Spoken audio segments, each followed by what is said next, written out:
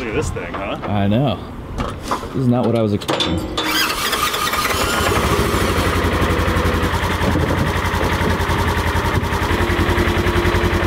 It's a Okay, back it straight out. sensitive throttle. Go ahead, put it all the way down, good reverse, good back it out. It's getting used to the throttle though. That's all right.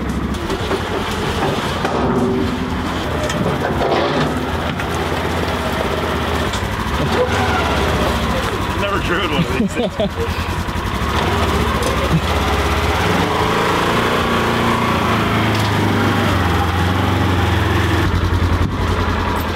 That thing zooms. It does. That was in low. This is going to be a fun project. Building an exoskeleton for this thing. Ah. This is the Blacksburg Rescue Squad UTV, which is the it's what these vehicles are. It's a side by side. People call them RZRs. That's the Polaris version. This I think is a Polaris. Yeah, Polaris Ranger XP. They use this for I'll have Tom tell you, but they use this for like woodland rescue, mm. you know, campers, hikers. Tom, you mind telling the people what you use this thing for? This is Tom Rogers, everybody. Say hi, Tom. Hi. What do you guys Basically, yeah. this is used for any type of rescue that could be out into the woods, could be on trails. It's also used in the town of Blacksburg when we have stepping out or we have football games. This is what we use to work through crowds or to work through the woods or whatever the media may be in which we cannot take a standard vehicle or an ambulance to, to take the patient and bring the patient out hopefully safely. And which the goal is now is to completely encage this so if we're off-road and all of a sudden something slips, something, whatever may happen, if the thing does roll, which I hope it never does, it protects the people in the back. Because right now there is no real protection back here. Right. You've got one main hoop out of some As you can see, rectangular it's been, tube. been bent a couple times. Yeah, come look at this, Walker. This Oh, was someone caught a tree, huh? Yeah, we caught a tree. So this whole side been bent Oh, back. wow. This thing buckled. We tore some welds down here, and you've this been That's been fixed re-welded about three times now. yeah, I think uh, that's about two times too many. Yeah.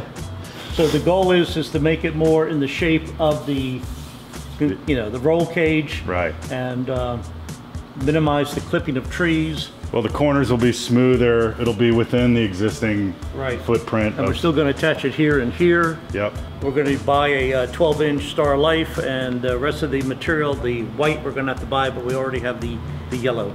And like I said, in case you uh, get careless. Woo! okay. Oh, Dang, those are bright. yeah. Just take care of my girl. Deposit. I will. What's her name? It depends on if it's running or not. Yeah, yeah, right. Right.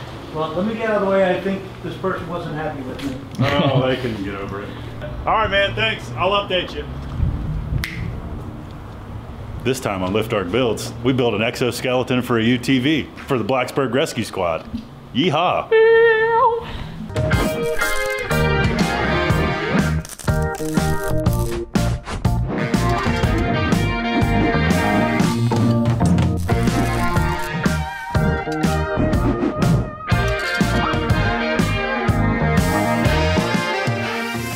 Right, so here we are, day one on the, the UTV roll cage project. And I'm gonna start with a little disassembly and some tear down, pull all the stuff off the back of this thing, remove the placards that I need to, start working on pulling the lights out of the rear bar here. We gotta pull these top four flashers out and these side flashers out of here. And we'll chase the wiring, all the wiring goes over there to that side.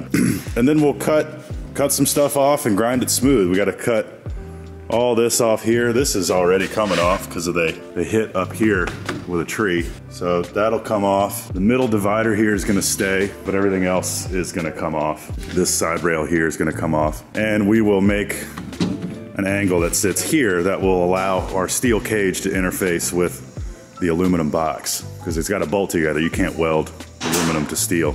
So yeah, here we go. Gonna start with some disassembly.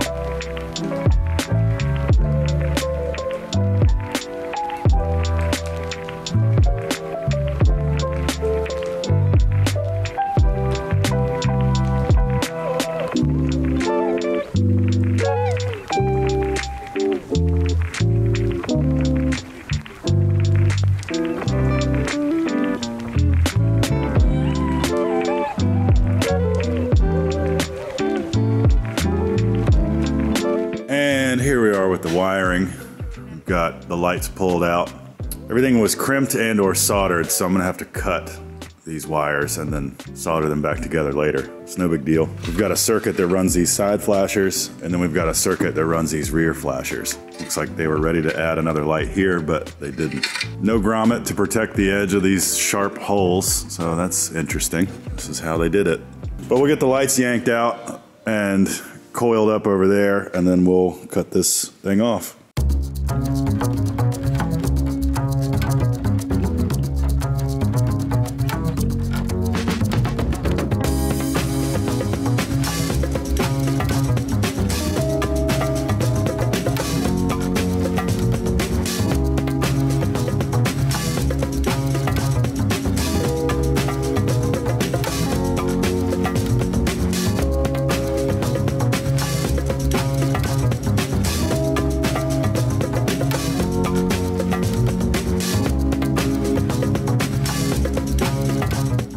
Found some two inch angle in the rack and this is the plan as of yet. This one actually fits perfect. I don't even have to cut it. But because there's uh, doors right here, we're gonna let this angle sit up like that. Leaving this web of the angle here versus just doing a flat bar will add some strength. And this is where the stretcher slides. So if anything, it, it can maybe act as a guide as the stretcher slides in here. So that'll be nice. And then our tubes for the cage will sit here and be welded right there. On this side, we don't have compartments, so we can flip the angle down and weld our tubes here. And these angles will be bolted to the box. So we'll through bolt in a few locations and that will give us a steel base that we can start fabricating our steel cage from. But yeah, everything's stripped down, got all the old stuff off, looks good.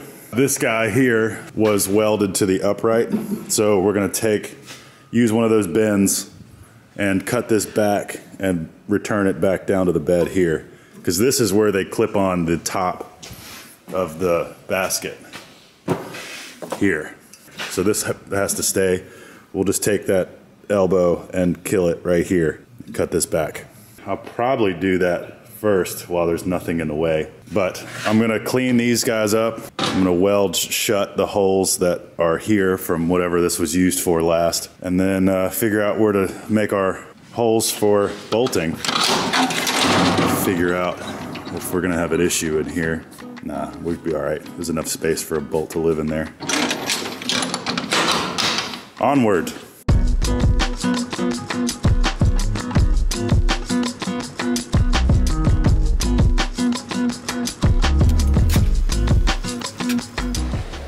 So there are base plates. Just went ahead and did a nice little chamfer at the end, clean it up. That one's gonna live there, and then this one's gonna live right here. Cut it to contour match that slope, wire wheeled it, cleaned it up. It's ready to weld to. Pretty close getting these on. Once these are on, it's time to shift gears and do some tube bending. Start laying out our main hoop. Good progress. Slow but sure, wanna get everything right the first time.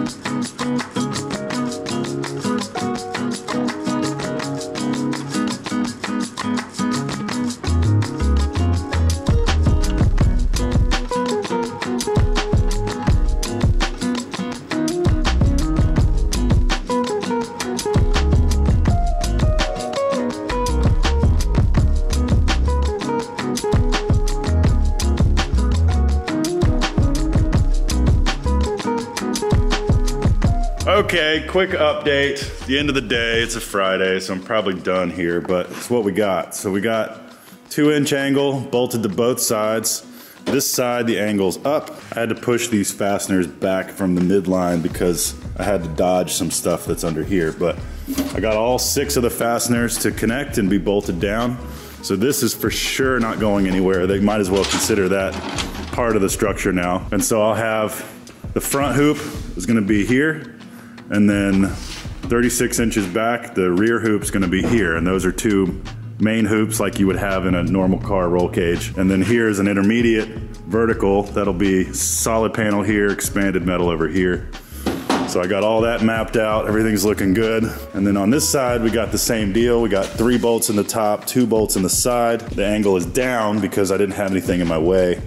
And we'll have the rear hoop here and the front hoop here. So now I've got a steel foundation onto which I can build my steel roll cage that all bolts to the aluminum bed. You can't really see a difference right now, but that was a lot of valuable prep work. So now we can just start motoring. Next week, I will be mapping out my hoops, setting up my bender, and uh, hopefully not wasting a bunch of material bending it wrong. But uh, I have yet to do a main hoop. I've done two roll cages, but I bent everything except the main hoops because I got those pre-bent.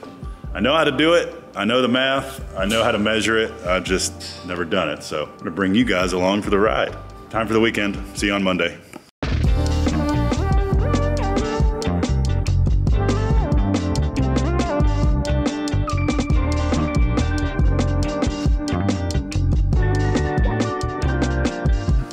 Right, hello everyone. Update on the UTV roll cage build before I get stuck into it here and start bending some tube. I've got a few things to figure out. So these are the drawings that Tom so generously created. We've got driver side view, passenger side view, top view, and back view. So it's helping me, I'm using this to take notes and I'm also drawing my own stuff. So here is a drawing of the tube that's gonna be right up against the back of the cab. And then back here, 36 inches back, we're gonna have a tube that's taller than the main, main hoop, which will allow us to do this. So we'll have our front hoop here. This, if you imagine the cabs right here, the front hoops here, and then the top bars go up and back to a taller rear hoop. So I think I'm geometry wise, I'm gonna do the same, just the rear hoop will have uh, longer legs. But we're not gonna do a perfect square. We're gonna come, you do like an 80 degree bend here and then it'll be slanted until about here and then it'll do the rest of the 10 degrees and come back in. Which is sort of pictured here. You can see how it comes down, it's still slanted, and then a little bend here that straightens out the leg. Um, that is to keep the top corners of the, the cage inside the boundaries of the cab because with the last one, they were having issues where these corners were sticking out past. And when they're going through the woods, trees and things, you can see where trees, like they, they use this thing. There's rub marks and everything. So tree branches would be going down here and then they'd catch the main hoop. So we're gonna keep the main hoop inside the footprint of the cab here. Uh, yeah, so this is a trick I learned from uh, Justin over at the Fabrication series on YouTube. Um, put tape at critical points on your chassis to mark, it helps you measure things out. I'm using a JD squared Model 32 tube bender today. Uh, I've got my inch and a half die loaded up. It's like a six and a half inch center line radius. And a long time ago, I bent this 90 with this die. And I marked that cut right there corresponds to the front edge of this die, which is a nice uh, measuring spot. So the reason I did that is I can take this 90 and hold it up to sort of simulate where I want my bends to be, and I can transfer a mark from that line to the chassis and now I know where to measure, you know, where my bend stops and the straight starts. That's essentially what that line is illustrating for me. The easiest way to do a main hoop is to start from the center and work out symmetrically. So when I cut some of my raw material, I'll work up a total, you know, a total raw cut length based on all these measurements. And then I'll start in the middle and bend outward like this. You make this bend straight, make this bend. I, I fully realize that this is a lot of information. So uh, I'm trying to give you the technicals if you're curious about the technicals. So at the risk of over explaining things, I'm gonna get started. I'll try to explain as I go. But really, figure out your raw length, mark your midpoint, all your bend locations, and then just start bending incrementally. You know, leave a little extra on the ends so you can trim it and fit. Did a bunch of measuring yesterday. I think I'm ready to start cutting. I may go lay something out in CAD real quick just for peace of mind, but that will only take like 20 minutes. Let's get to do a few more double checks and then we're gonna get to cutting. Okay, so there is software out there specifically for designing roll cages. I believe it's called Bendtech, but I just want to do a 2D layout just to double check some things. So I'm gonna fire up Fusion and just do a 2D drawing of this here. Uh, just establish some constants and make sure like my angles and everything makes sense. I know my bend radius and all that, so we will see. It's a six and a half inch center line radius. And I've got some measurements here.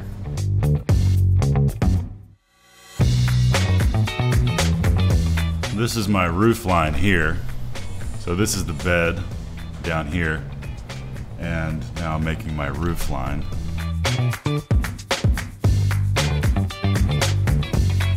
So now we can establish our boundaries.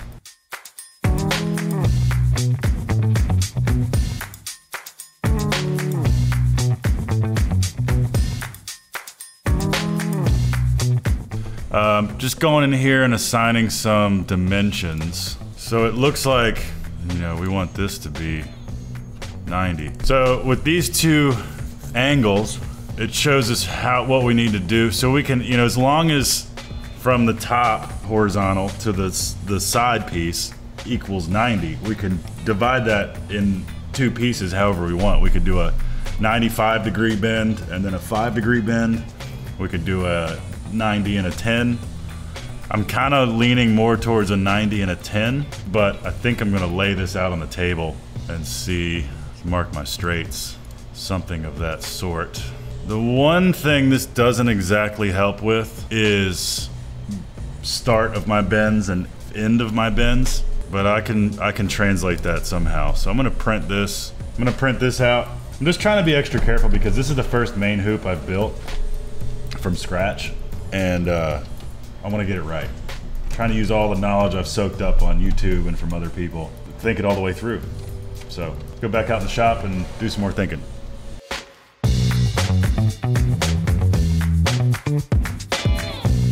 All right, so here's where we're at. A lot of thinking, and now I gotta download this thinking into you guys. So I've mapped out my limits, so I know how, how high, the vertical height that I can't go past, and then where my top corners are gonna be here. I measured the top width of the top of the cab because I don't want my corners to poke out past that. So we establish our constraints first, and then using this bendicator, clever name for this tool, also by JD Squared.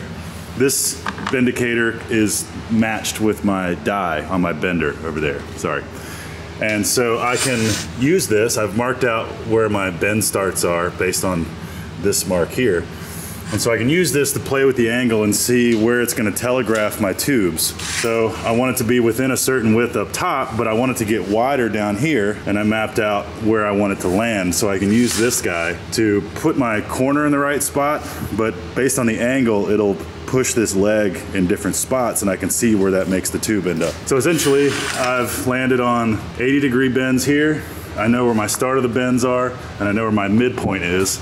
So I'm gonna cut a rough piece of tubing, mark my midpoint, make two 80 degree bends this way and that way, and then I'll lay it up on here and double check everything before I commit to the 10 degree bends that will be down here because 80 plus 10 equals 90, and that'll get me where I need it to be down here. That makes sense? You follow, Steve?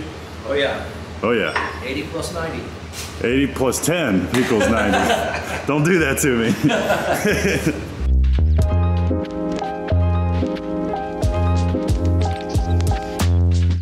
okay, so I'm gonna go calculate a rough cut length for my raw material based on my three legs. And then I'm gonna cut it long and then we'll start bending. Right, so now we gotta lay out our pipe. So I'm gonna find the midpoint first. Now from that midpoint, I measure out to my the start of my bend. So I need to figure out what that is based on my template. So 19 and 3 quarters is the distance from the midpoint to the start of the bend. So I'm gonna mark that now.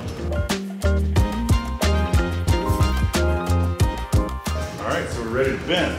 First bend. See how wrong it can go.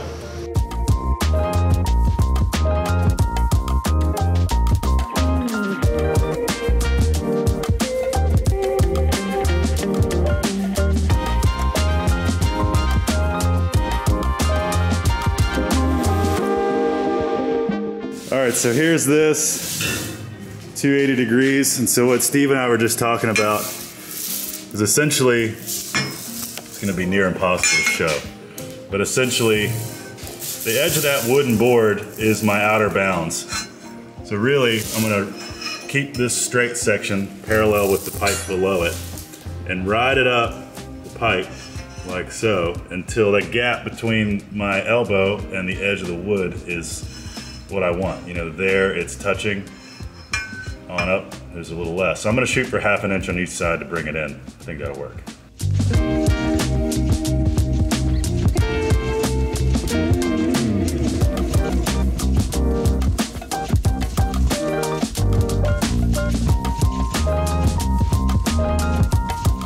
Right, so we're close enough for the job at hand.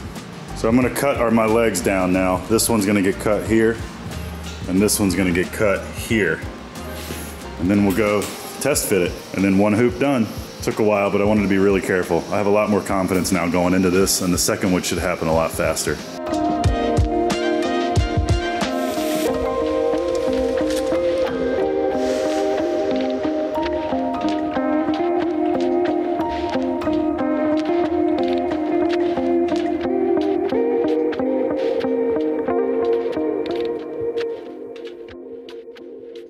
Another day, another dollar.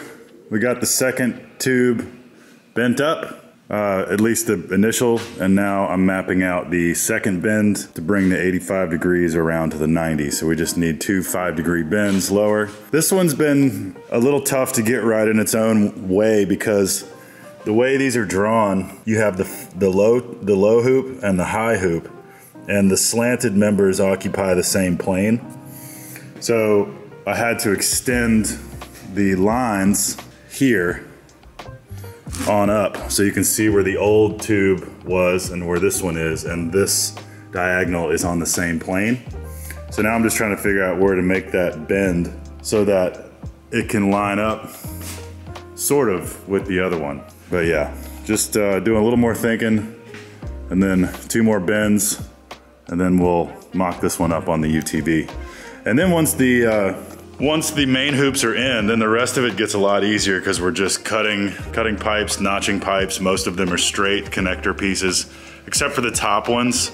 The top ones are gonna have this, this curve here. So it's gonna go straight and then curve down and be notched. But there's only three of those and that's pretty easy to figure out. Because then we got straight here, straight here, straight, straight, straight, straight. Yeah. We're good. And then um, I've got the material ordered. I've got the expanded metal ordered. That'll be here tomorrow. I've got the one inch tube ordered. That'll be here tomorrow. And then mounting all the lights and stuff will just be a matter of making tabs and brackets and things and cutting them out on the plasma cutter and fitting them. So let's finish this tube. Enough talking, let's do it. So we might be in a little bit of trouble because it's kind of hard to figure out. I'm sure a bunch of you out there watching uh, already know that I did something wrong or know what's wrong with this. But we've got this sort of double curve, right? We've got on the front hoop, we've got 80 degree curve and then the remaining 10 degree.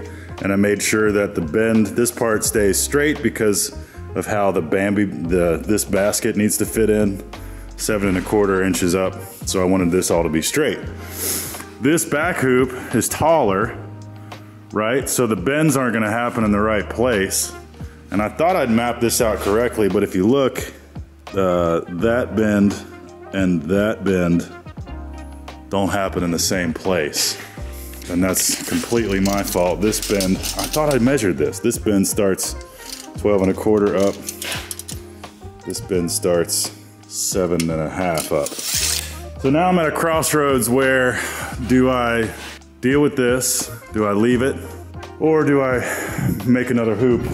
I've got two more bars and I think I'll still have plenty of material to do on my connectors. These are why main hoops scare me because it's a lot of material and if you get it wrong, it's kind of trash. And uh, hopefully not wasting a bunch of material bending it wrong. Although, you know, I'll be able to reuse that top straight section and whatnot. So I either rebend the back one or I cut the front one off and rebend that.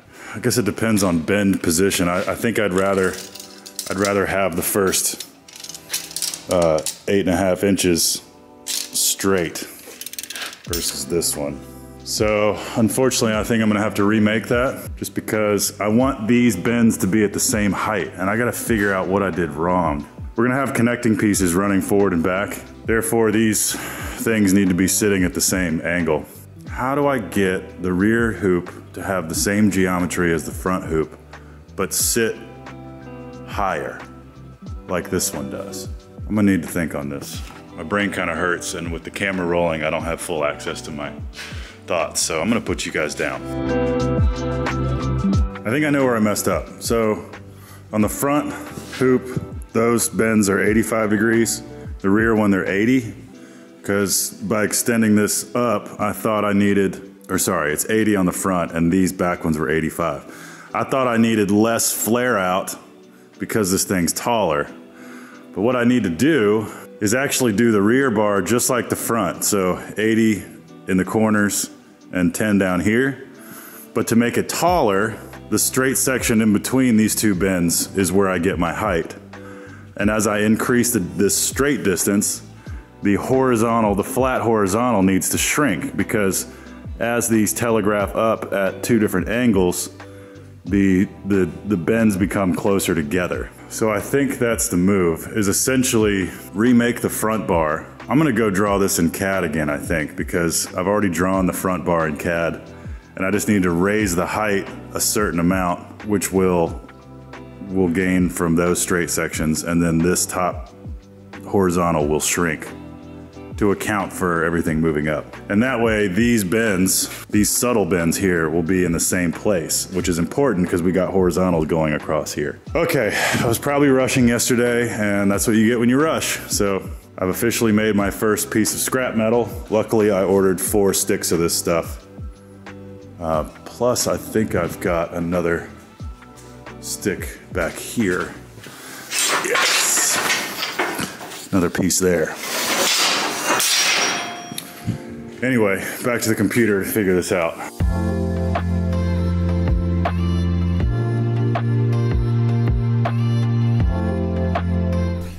Okay, so this is an interesting comparison.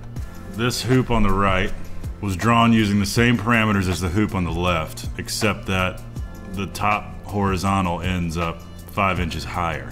And what I was curious to see, I kind of guessed. So over here, I inset these circles, eight inches, these seven and a quarter radius circles. I inset them from this uh, sample box to achieve that sort of slope that we're after. So over here, I was guessing, you know, we want we want these the bends at this location to be the same height, which they are, and we want the angle of this member here to be the same as this one here. And so if I measure the original one, we have a 94 degree angle. But over here we have 94.6, so it's close enough. So what this tells me, roughly, as far as the dimensions go, I'm so sorry that I'm speaking in a, in a really broken, slow, stuttery way. I'm just really, I'm thinking this through as I present it to you. And maybe I should have thought it through more before I present to you, but this is the reality. So essentially, I've pushed these bends here closer, an inch closer together in order to account for the fact that by extending this straight member, this top piece needs to shrink. So essentially, by the way I've dimensioned these compared to this side, I've lost an inch off the top and uh, I wonder if I change this now, will everything go with it? Yeah, So I think that should work. So really, if I bend, if I do the exact same thing I did for this, but shrink this horizontal member by one inch and then lay it on there and telegraph everything that way, I should be good. I hope that made sense to you. It barely makes sense to me, but I'm working my way through this. And uh, if I do more of this, it might be worth investing in like a bending CAD software or just being better. So I'm gonna let this marinate and stare at it for a little longer and uh, go back out in the shop and put the plan into action.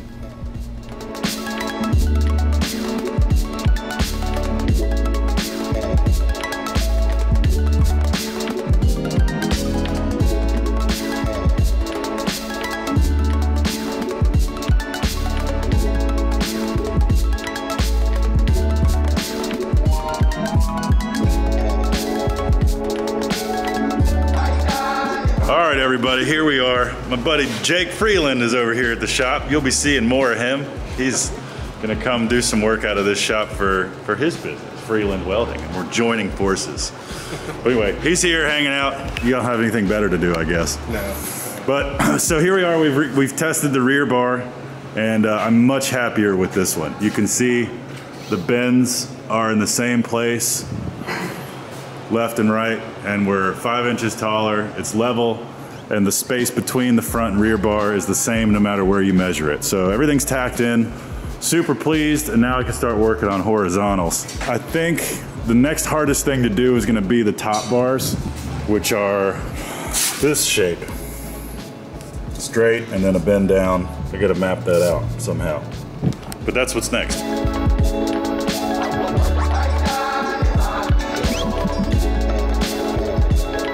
All right, here's what we did to show, bring you guys along. Again, we're making this roof section here that the bar is straight for a bit and then a 45 degree bend and then it comes in and bird's mouths into the front hoop and the rear hoop. So what I did was draw this in real time. So we located one tube here, five inches up, and then one tube here, essentially a zero point. And we will have our tube go straight, and then using the bendicator, we figured that we uh, we figured that this was a 45 degree angle, so we set this at 45, and essentially put this on our tube line, and situated it to where it intersects with the other tube we drew. So then we have 26 and a half, 25 and a half inches of straight, and then our bend happens right there. We bend it 45, and then the rest of it runs into here, and we trim it and notch it. Make sense? Sorry if it doesn't. Watch how we do it.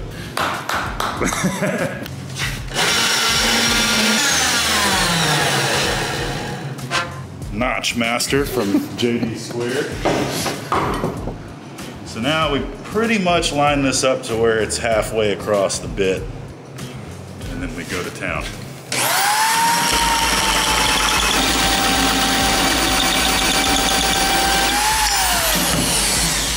You go, It perfectly coped too. Right tool for the right job.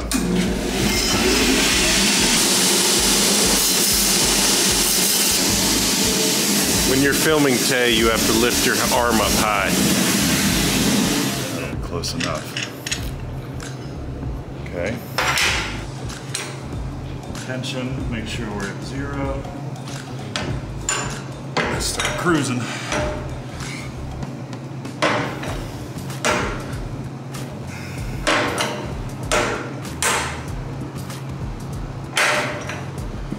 Don't run out of pipe. If that's it or not. 45 degrees. All things being equal, should be able to set it in here, lower it down. We're actually a little past it, which is fine. That means I can just re-drill that and bring it back here.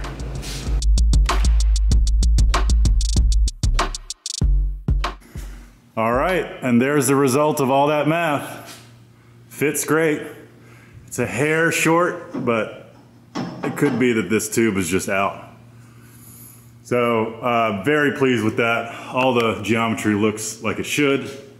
And there's gonna be three of those. So those will snap up quick and yeah, now this thing's really starting to take shape. Really starting to look like a cage. The back hoop fits great, looks really good, looks the same as the front hoop. Very, very pleased with this. So I know I keep saying this, but tomorrow, tomorrow this thing is gonna take shape. All the parts, the rest of the metal shows up. I, all the hard stuff now is done, so we're gonna start welding some tubes together tomorrow. Yeehaw, see you then.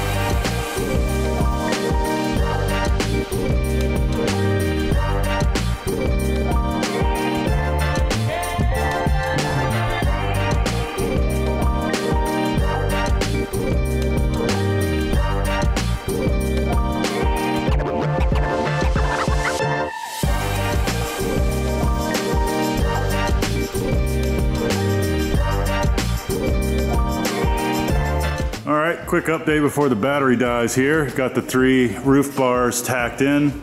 We got all our base of the main hoops welded fully. And I'm very pleased with how it looks. It looks good from the front, looks good from the back. No glaring issues yet. Everything's vertical that should be vertical, square that should be square. So now I'm gonna do two horizontal bars this way. We'll do a low bar, split one in the middle. Yeah, this thing's coming together.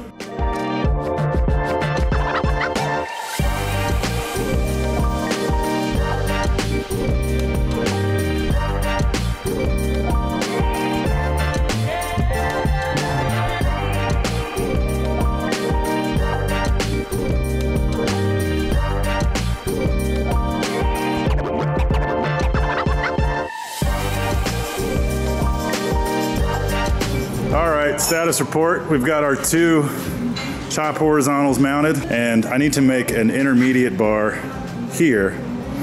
So I'm gonna mimic this exact profile here. So I left my mark on from when I originally bent it, so I know where the bend will start. So it's nine and a half, 10 degree bend, whatever that is, and notch it to go around here and kill right into that. Because we'll have expanded metal in this half and a steel plate on this half, and same over here. So actually over here, this uh, horizontal that I have not welded in yet probably won't be there. I'm gonna have to do the same thing, one that goes down like this of sorts. So that's what I'm cutting out.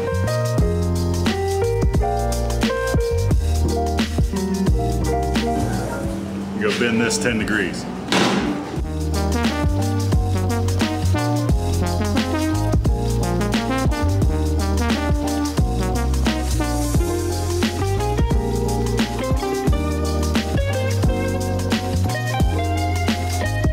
Looking good. There's the next intermediate bar.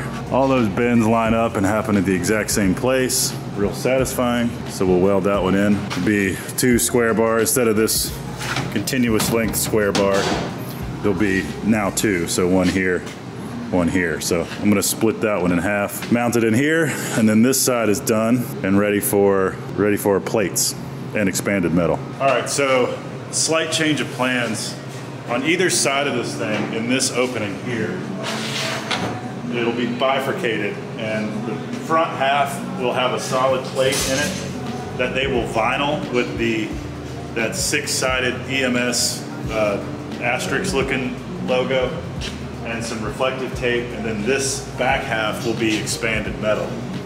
So instead of instead of this piece in here like that. That may go back in later, but I think the first thing I want to do is make this vertical.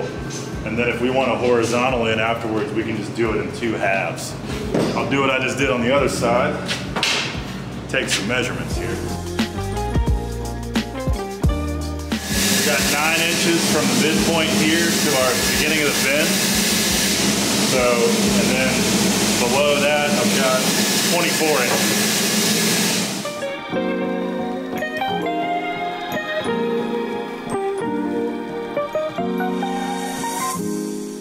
Yeah, so we're real close to finishing up the structure of this cage here. Once the hard, the main hoops were done, the rest of it's been really fun. Just sort of minor bends, mostly notching and measuring. And yeah, it looks pretty badass. It looks definitely, it's gonna be super safe and uh, quite striking to see it all together. And once it's powder coated and everything, be cool. We're still debating on a diagonal coming down this back area here. But other than that, it's pretty, pretty all right. So anyway, it's Friday here at the shop. It is five till five, and I think that's a good stopping point. I'm gonna come probably mess with it a little bit this weekend, and Tom's gonna come on Monday to check the progress and um, you know give me the go ahead to keep going. Um, I have some questions for him anyway as far as placement of things. So yeah, thanks for watching. I'll see you in a bit. Bye.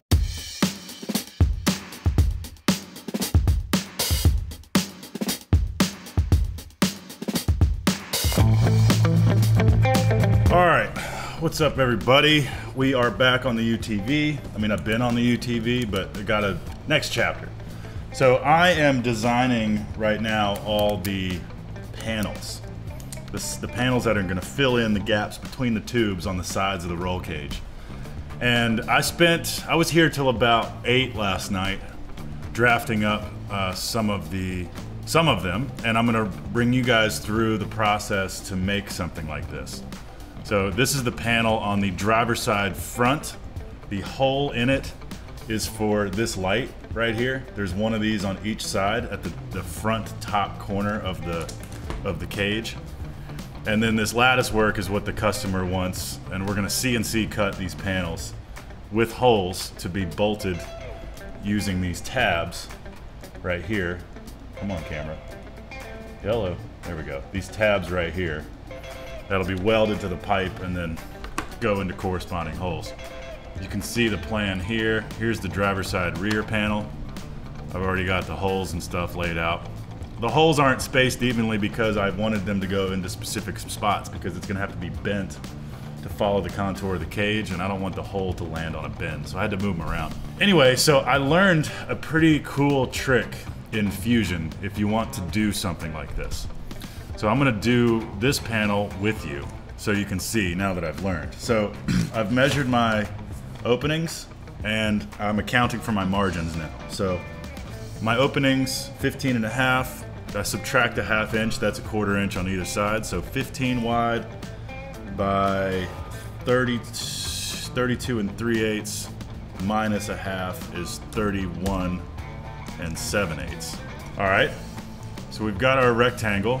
That's the outer limit of the panel. And now I'm going to offset the border inward by an inch. And that's our margin where there's no lattice work. Uh, and that's for to give strength and to be where all the holes go. All right, so we want this, oh, we also need to plot out, this one's gonna have a light in it. So I'm gonna delete this line, I'm gonna delete this line. I'm gonna make an overall slot, and I've measured my hole, my, uh, the gasket here on the back of the light. And it is six and five eighths long by 2.475 tall. And now I'm gonna space that off the wall one inch here, and then dimension this off the wall one inch as well. Okay? And then we'll take lines and we'll finish our border like that. And now we're gonna offset this 0.375 or 3 eighths. And we're gonna trim what goes outside this border here and open it up like that. So now we've got this solid piece like that. That's all gonna be metal. And then inside of that is gonna be lattice. All right, so here's what you do. You finish the sketch and then you go to extrude.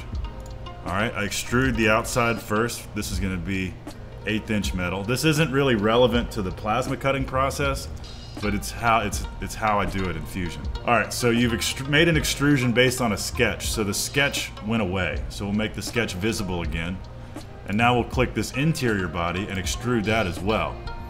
And you wanna make sure that when you extrude, I'm extruding the same thickness, but you go over here and say new body. So now we've got two different bodies. It's all the same piece, but they're over here under bodies, you have body one, which is that one, and body two, which is that one. The reason that's important uh, will be made apparent in a minute. So now we create a new sketch in body two, and I'm going to center a diamond in this square. So I'm going to draw two lines uh, at the midpoint, giving my center and I'm gonna create a center point rectangle that's 1.5 by 1.5 All right, and I'm gonna select it, and I'm gonna go to move, and I'm gonna pivot it 45 degrees. And then here's the crucial part. Uh, you need to make two lines, at least for this pattern, that will be the axis along which the pattern is created. Okay, so I've made two little 45 degree lines there. I'm gonna finish the sketch. I'm gonna delete my midpoint lines and I'm gonna extrude this through to cut. Okay, so I've cut my diamond hole in the middle of the panel. Now we need to make a pattern with that extrusion, extruded hole, to make all the other holes. So here's where the magic happens. You go to rectangular pattern, you change this to features, and now I can select a feature from the timeline. So I select the extrusion that made the cut, and then I go to axes, I make this sketch visible, and I pick this axis and this axis. All right, and I've measured my spacing. So you just bump the quantity up big enough to where they'll go past. My spacing is 1.875. And then 20 here and 1.875. And what that should do, symmetric, symmetric spacing. Let me try that again. Rectangular pattern, features, object is this, axes are this and this. We'll be doing spacing, 20, 1.875, 20, 1.875. And now if we do symmetric, symmetric, okay? I know that looks crazy right there, but that's filling in. And watch this, when I hit okay, computing, loading up my computer right now. Boom, look at that. So because the sketch I made that center hole with was exclusive to that second body, the interior body, the pattern I created didn't go any further than the extents of that body. How cool is that? Really stoked on that on that uh, trick. So yeah, now to turn this into a DXF, you know, I still need to do my holes around the outside, but to turn this to a DXF, you create a sketch, create a sketch anywhere on this face, all right? You hit P for project, and you click this body, and you click this body, and you hit OK. But essentially, that's how you can create a sketch based on a, a three-dimensional model that doesn't already have a sketch. And then the fundamental is once you've created that sketch, you save it as a DXF, save, and then we'll open up in route our panel. And look at that. This is a to scale DXF file created from a three dimensional model that was created from a series of sketches and extrusion uh, methods. So there you go. That is how I'm going to be creating my panels for the roll cage. And like I said, I've already done a few, but that saved me a lot of time because the very first one I did was this one. And I drew everything by from scratch. And by that I mean I drew a line from this corner to this corner and then offset that 3 eighths and then spaced down. And I drew every single line and trimmed all the intersections by hand, and that took about 30 minutes. Whereas you saw, I just, how long we've we been rolling on this clip? 11 minutes. So cut it, cut the time in half. And for the bigger panel, I would have, it would have taken me an hour drawing them all manually because it's literally three times the, the pieces. So anyway, yeah, that's where we're at. So I'm gonna keep rolling on this and knock through the rest of these panels. Then we'll load some eighth inch steel on the cutter we'll cut out our we'll cut out a small panel. We'll probably cut out this one first because it's nice and small, and then we'll verify that my inset for the holes works with these tabs. I just want to be able to bolt these tabs onto the panels and then hold the panel in the gap and tack the tabs where they land. And I've, I'm using, I'm gonna use quarter inch fasteners and my holes are 0.3 or a little under 0.3. Quarter is 0.25. So I've got a little slop and that way these tabs can move around and find their home. I need to order some hardware. I need to order some stainless hardware from McMaster-Carr for this and for some other things. So I'm gonna time lapse the rest of this and then we'll throw some metal on the cutter. But hope you enjoyed that little tip. Let's keep going.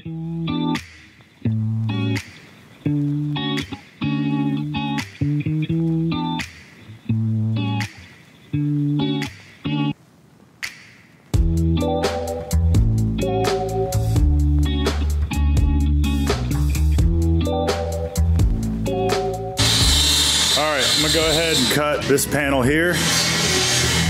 Small one to a test. Got a big sheet of eighth inch over there, but I've got enough here to do that one. So we're gonna cut it. And what that'll tell me is how rigid these panels are in eighth inch and uh, if my tolerances are right.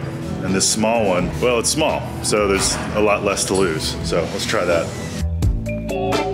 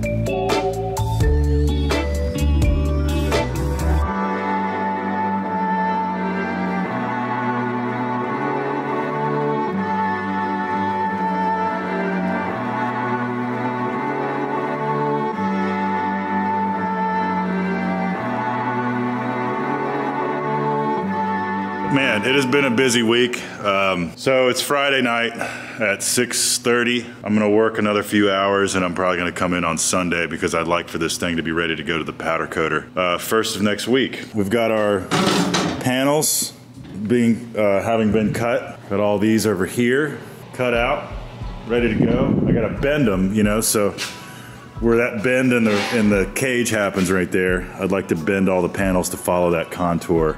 I don't know that we'll do that with this brake or just kind of putting them on the, hanging them off the edge of the table, you know, and, and heating along a line and then just pushing them over.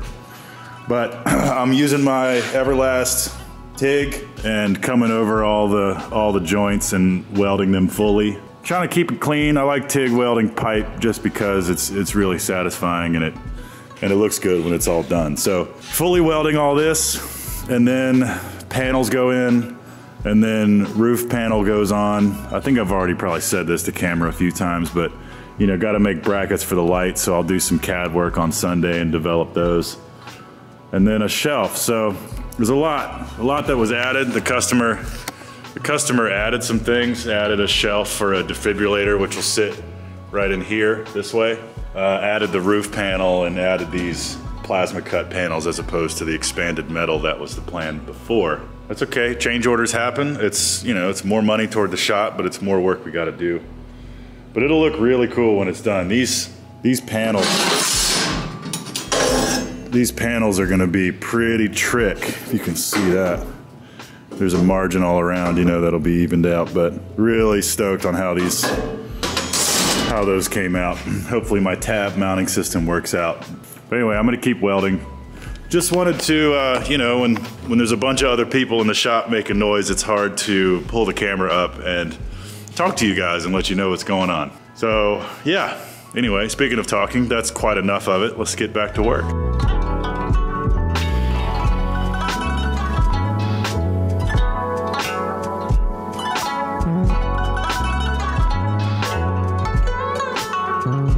Do you want to go home? You want to go home so bad. I know, but I just fed you. What is this on your nose? All right, what's up, nerds? I made these spacers uh, to help me locate these panels. So basically, half inch plus eighth equals five eighths. And that basically positions an imaginary plane right inside. So basically I clamp, all my gaps are the same. So if I clamp two, two of these bars in any location where a panel has to go, and then bump the panel up against it, it'll locate the panel perfectly. I'll get them clamped in and you can see what I'm talking about.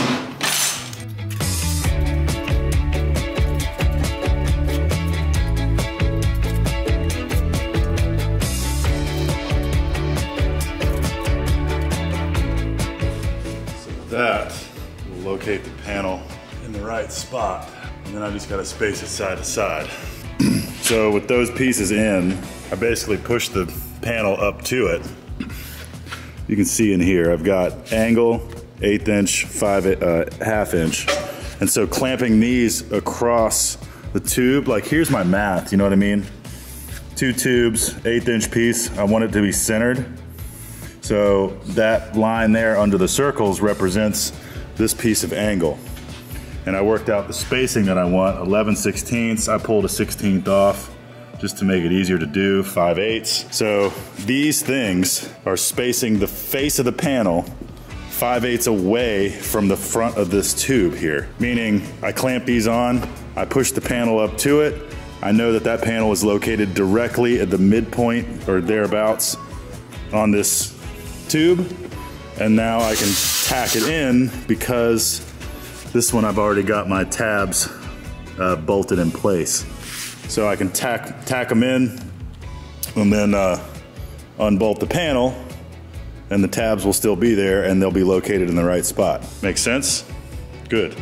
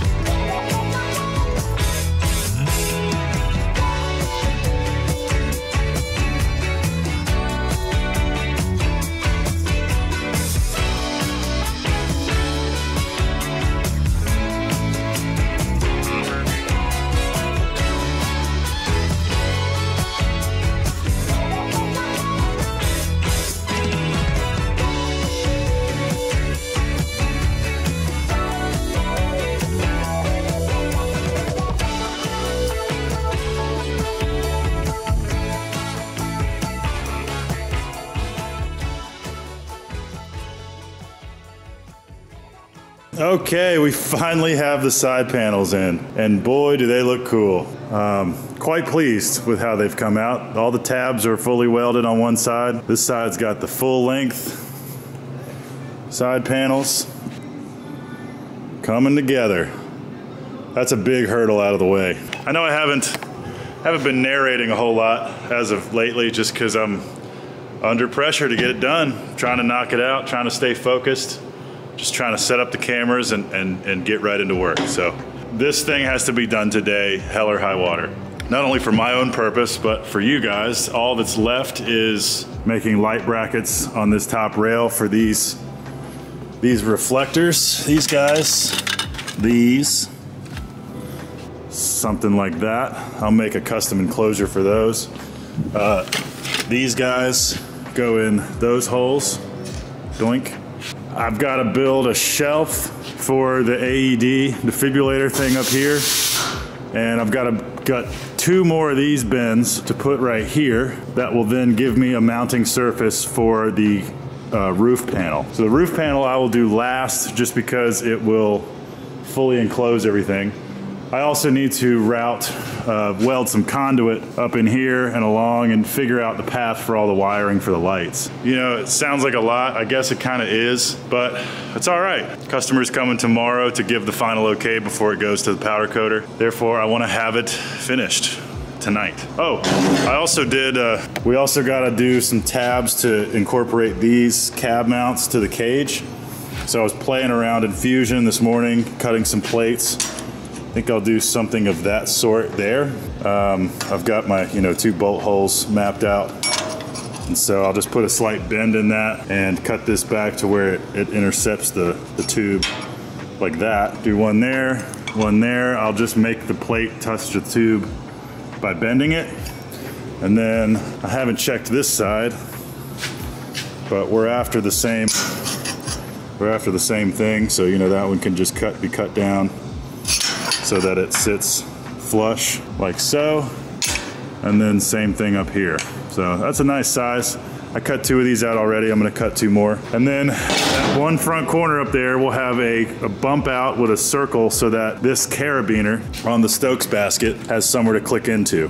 That's not gonna make sense until you see it. So yeah, this process of bolting the tabs to the panel first and then really wrenching them down so they don't move, and then test fitting the panel and sanding off, grinding off material from the tabs until the panel slips right in. Uh, worked really well. I got faster and faster at it as I did it, and my welds got better. You know, I TIG welded it, and the beauty of a TIG welder is that you can weld in really tight confined spaces. You know, I didn't want to weld the panel to the tube. I wanted to weld the tab to the tube, but the tab's bolted to the panel. So I only had little tiny gaps to weld in. And, you know, we run, I was running a little extra stick out, running a gas lens so I could have some stick out on my tungsten and I could, I could feed that right in there and get real close. So anyway, onward and upward. I think next thing I'll do is make these, make these radiuses here. Again, just like that, but right here. So let's do that.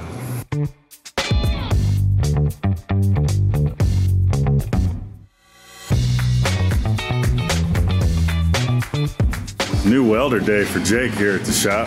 Look at that thing. pretty good too. Hell yeah. I'll make you a deal on that rack, four ninety nine. Okay, deal. So what do you get for your four and a half thousand dollars? You got MIG stick, ACDC TIG. Got your MIG gun. Yeah. You're gonna go Tweco style though. The shitty new Miller. Actually, I had never seen that one. That's not the same It one. doesn't look bad. It's like mine, just a little smaller. Mine's like the heavier duty one. We may have to go Tweco. We'll see. I don't know, man. If it ain't broke, don't fix it.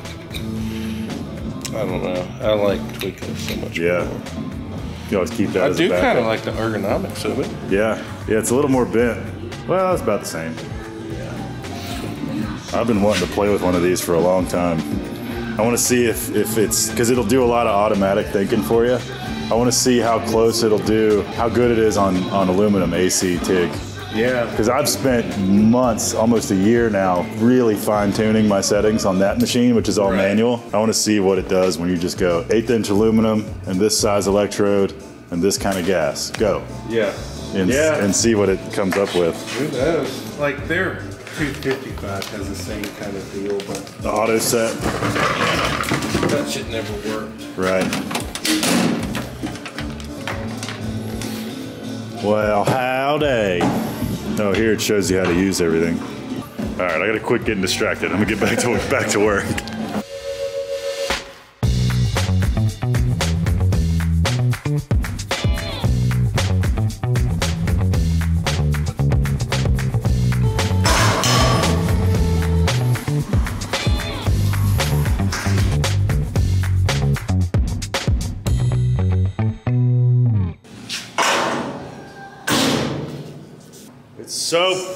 Close. Just fit. Yeah, it's filming right now. Doesn't fit yet. Bleep that out, Walker. You already are.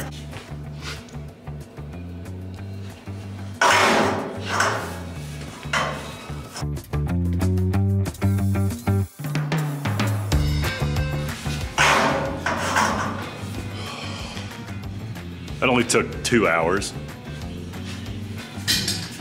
All right, viewers, well, that's what I've been trying to get right for the past hour and a half is this curve here. Because the roof plate is gonna need two radiuses, radii, to come down and weld to. So the only opening we'll have is this area right here. This will be covered with a panel across the top, over the front, and then same over there in between those two pieces. So I'm gonna make sure these two are the same distance forward from the main hoop, tack those in, double check my measurements for the roof panel, and then we'll load a 14 gauge sheet on the plasma cutter, draw that up in CAD, cut that out. Although, before I do that, I'm gonna evaluate the, uh, the shelf situation here for the AED, the defibrillator. It'll live right here, full length shelf. Wanted to get all this other stuff in, all the stuff that I know I needed, so that now all the structure exists and I know where I can tack to and support from, or something like that.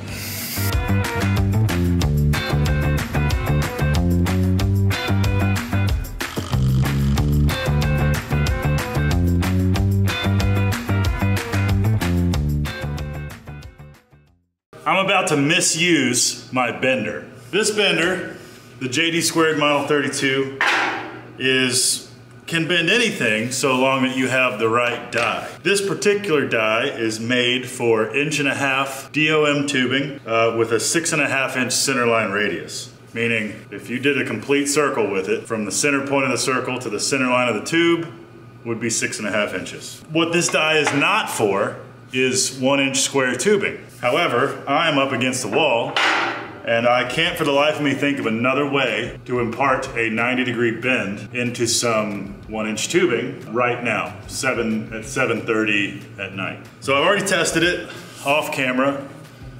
I was able to bend a 90 with some jerry rigging into some one inch tubing successfully and rather smoothly. What did happen though is I sort of hurt. You see those two little marks there? I'm, I'm hurting the die. This is the follow bar. The follow bar goes in here, uh, and that's what holds the tube against the die as it's being pulled around. So effectively what's happening is as the square tubing is getting bent around, you know, this, this does not fit over here. So instead of it distributing the load all the way around the radius of the die, it's really focusing it in those two points. So there's a very real chance that doing this again will damage the die in such a way that every subsequent tube I bend in the bender has marks on it because the die is no longer smooth. I realize how sacrilegious this is, but I need a 90 and I need it now. It's my money, and I need it now! So I only gotta make one bend. This is for the, the piece of one inch. You know, you saw me try to do it with CNC plasma cut parts. You saw me try to do it while heating, heating it and bending it around a die. None of it worked well enough for me to be satisfied. This results in a smooth bend, but I'm damaging my equipment. Hopefully not irreparably. So here we go. I will, I'll load it in and show you what I have to do to do that.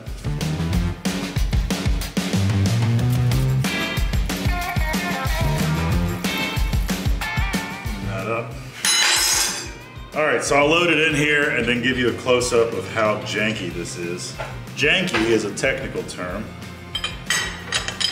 to explain something that is not done as well as it possibly could be.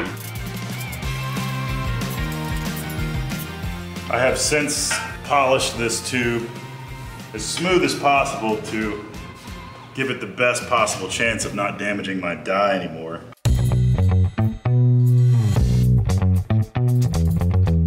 There's some people screaming at their computers right now. Don't do it! Don't do it! Just wait, buy the right tool. All of you are right, but there is no time. For I am just a man talking to himself in his own shop at zero hour on the build.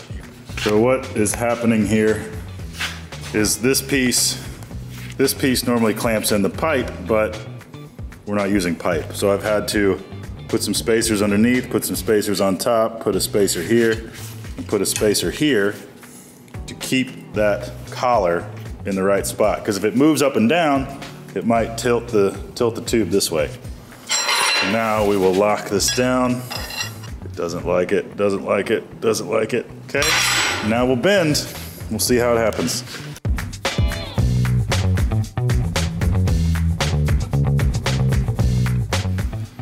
So I've drawn, I've drawn a box on the table showing where I want this thing to fit and it should work.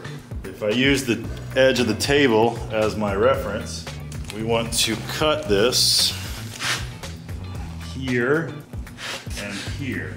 At least that one I can cut in the saw, that one I'll cut by hand. And now the big reveal. Ta-da! That will go just like that. And we'll notch this to go around the tube, weld it here, weld it there, and this is gonna give us a nice surface for the, uh, the Stokes basket to be clamped to. So that's kind of the whole purpose of this thing. All right, I'm gonna notch, notch this just vaguely. And uh, yeah, then we'll get to welding.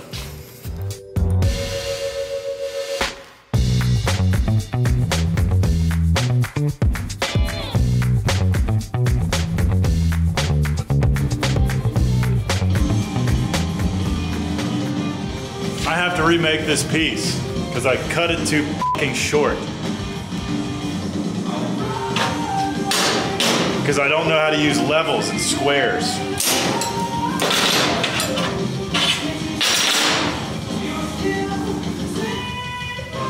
Time is just ticking by too. Instead of doing that, I'm gonna weld back on the piece I cut off. Oops. I'm gonna weld this piece. Where is it? There it is. Doink, doink. Weld that back on because this isn't a roll cage per se, and I can do that. Normally I wouldn't be able to do that, but I'm doing it.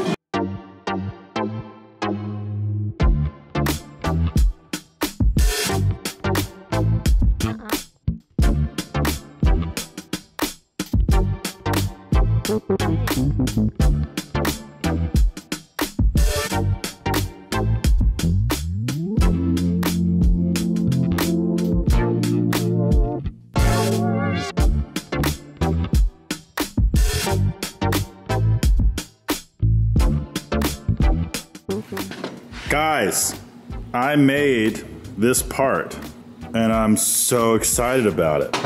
It holds the uh, the lights. This is the gasket back of the lights. Look at that. That goes on there. And this goes like that. So I can mount a light on the tube. Let me show you how I made this at 10:30 on a Monday night. uh, all right, folks. Here's what we did. I made this part in Fusion based on thoughts. The first thing to go off of was this light. So these are the lights that were on the back of the existing uh, roll bar on the UTV. They're little flashers. I think red and, and uh, white, maybe just red. Uh, but really, the only thing to know is that this is how they interface with the world. You've got two holes and a, and a slot shape. So the two holes and well, so I drew to two holes and then a hole for the wire. So that, if you go back to the screen, that is what this face is.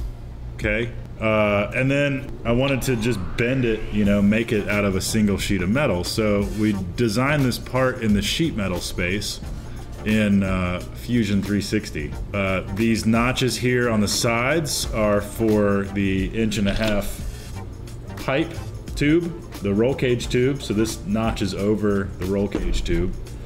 And then we've got a hole right here for the wire to come out. So it can, the wire from the light goes in here, in the back, and then out this hole. And then it can run along the uh, roll cage. So this thing fits and works great. And what I need to do, really, I don't know. This was just such a cool. I mean, listen, it's 10:30. I've been having a few beers just to get by. Whoa, it's almost 11. So really cool. The sheet metal space. Yeah, I'm sorry. Let me start over. The sheet metal space in Autodesk Fusion is really cool, particularly if you work with sheet metal. Duh. But being able to design, you know, like I knew what I wanted this 3D part to look like, but I have to start with flat metal. So with the help of a plasma cutter, we can very quickly, plasma cutter and a, and a metal bender or a brake, we can pretty quickly go from flat material to a three-dimensional object so long as that it can be achieved with flat planes and bends. So this worked out very well. I made one, here it is. I'm gonna make three more and show you how to do it. So I've already exported my DXF. So really just copy this and paste it three times. Okay, and then situate these parts.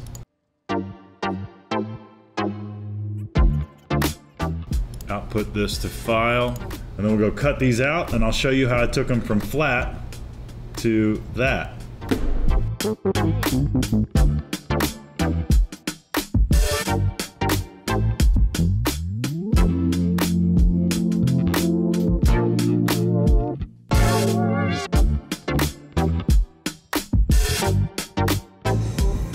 There's the rough part. And now what I do is slice the gap with the cutoff wheel to remove that clearance. And then I'll bend the sides the rest of the way. See, they're a little wide now. But yeah, man. How you take a 2D piece of metal, make a part. This brake isn't technically rated for 11 gauge, but by scoring the line like I did, like that, it, uh, it effectively means that I'm bending less metal. So, yeah, how about that? So I just ran a cut. I just ran a cutoff wheel through these corners, so I should be able to complete the bend now. Now it is perfectly square, and I can weld these corners up, and there it is. That is a light box. So I'm gonna make two more of these. We'll mark them out on the pipe up top. We'll tack them in place, and then we're that much closer to going home.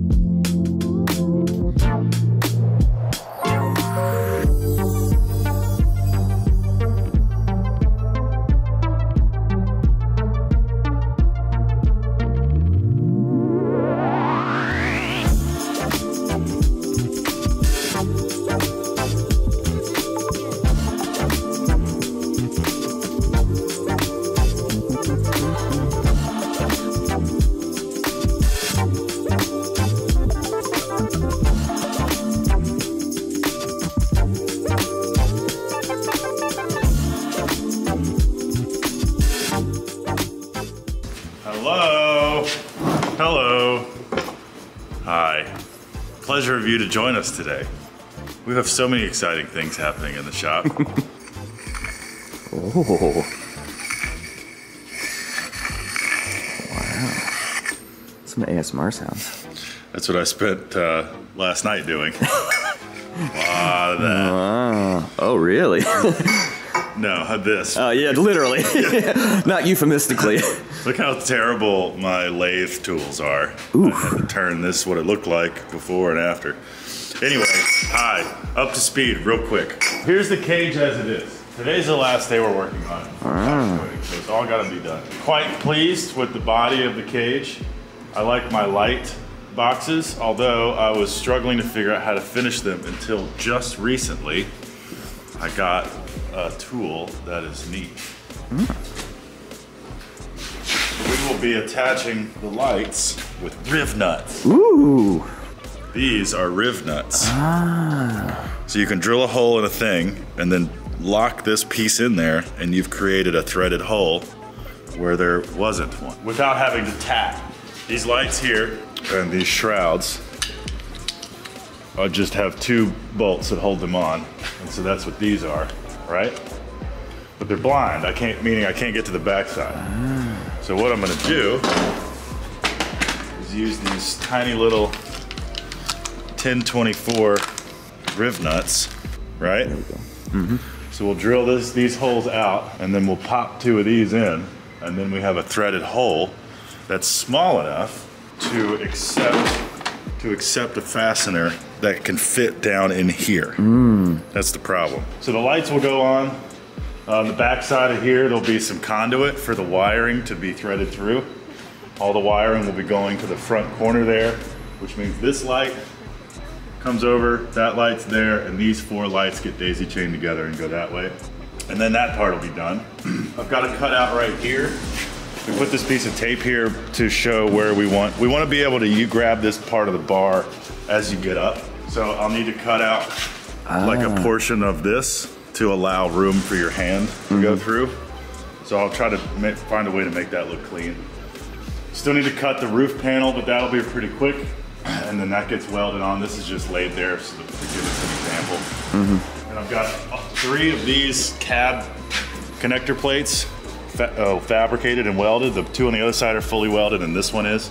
And that, of course, bolts the cage to the existing cab. This mm-hmm. one's not welded yet because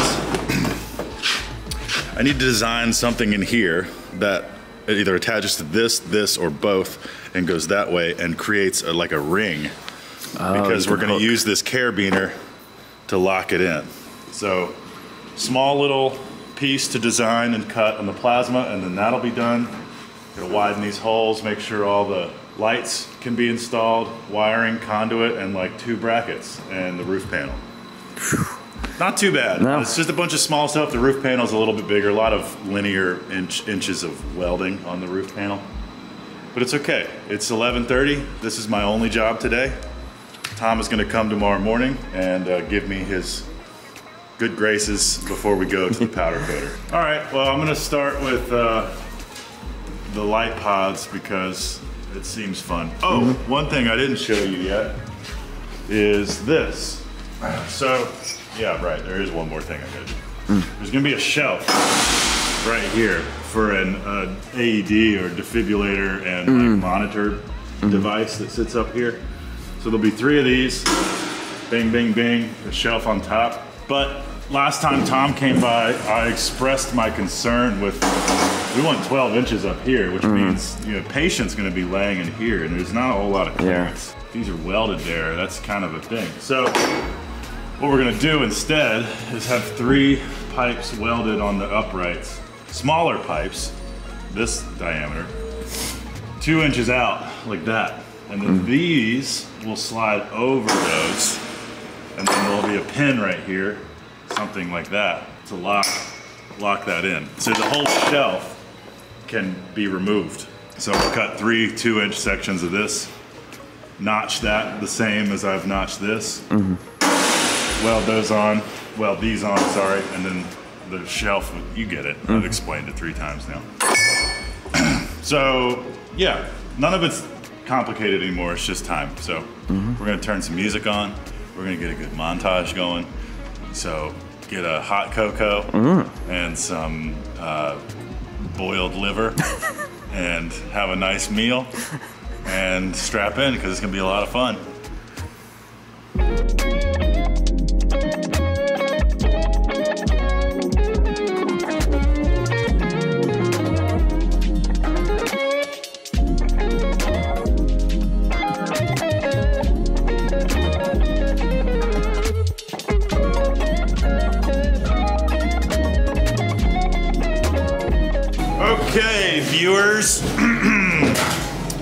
This was the light off the back of the cab, and it is now being mounted in the corner here in the cage.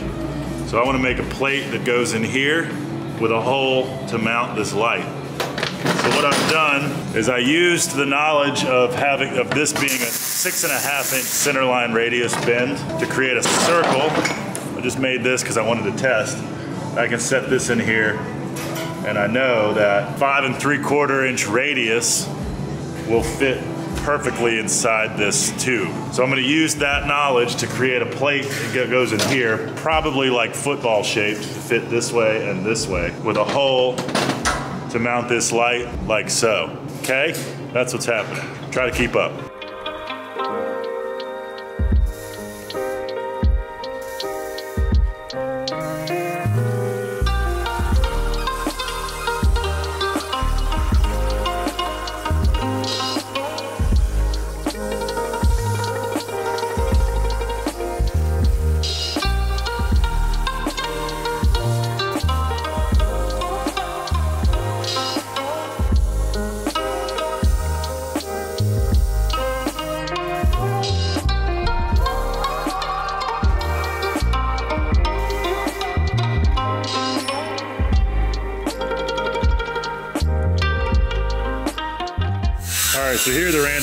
I cut out, and this is what they're for. The ovals is how I will cap these, like that, and just weld that like that. This piece is gonna go here and mount the light that was on the back of the cab to that. And this piece is gonna be retrofit into this panel like that to create a relief so that where that tape is, we want people to be able to grab this this bar as a handle to get up. And right now you can't fit your fingers in there.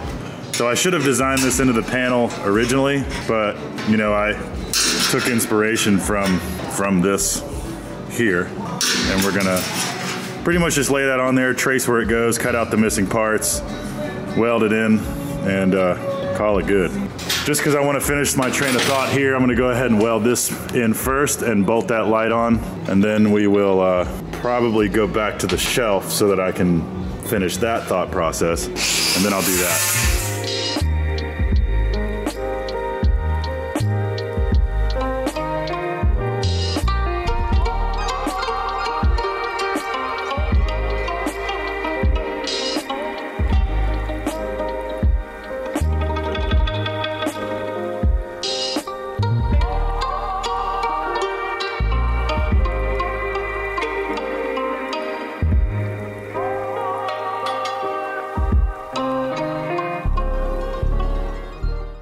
So I'm going to through drill these guys for the inserts.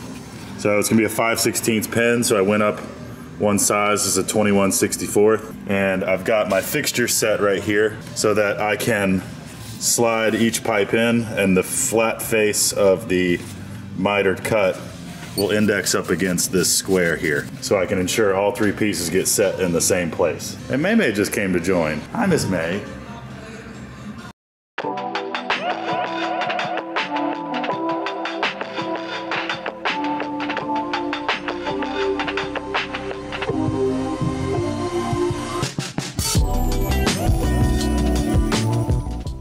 Making roof panel now. Streaming now. Engage roof panel. Now. Now. What?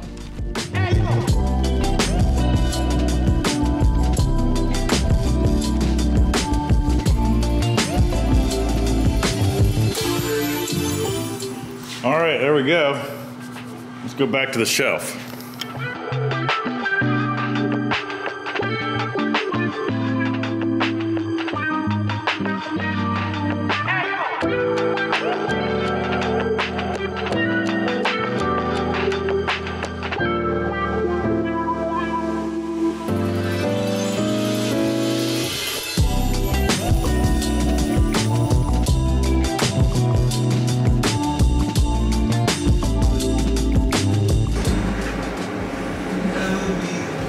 We've achieved what we wanted. There you go. Handhold. What a pain in the butt. If only I'd have drawn that when I originally cut the panel. It's okay. One more thing figured out.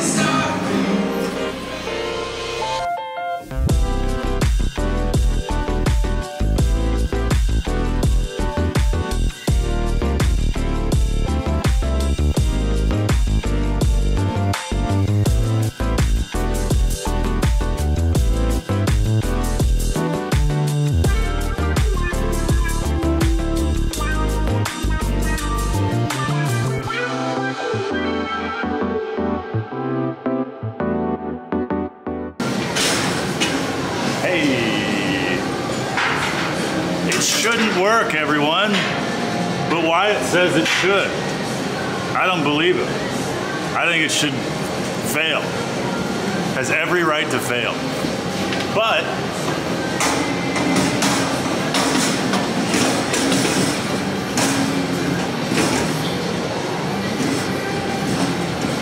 if I can get it in right,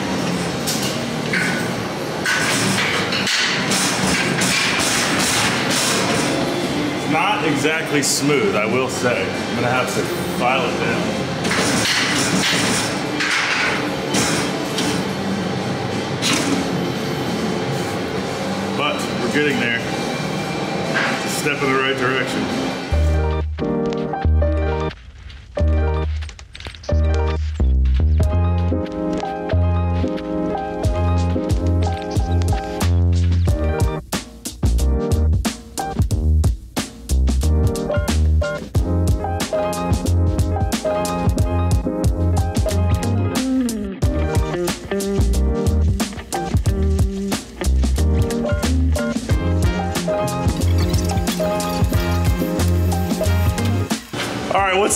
It's Christmas Eve, and we're gonna finish this roll cage. This is the end of week three after what I thought was gonna be a one week build.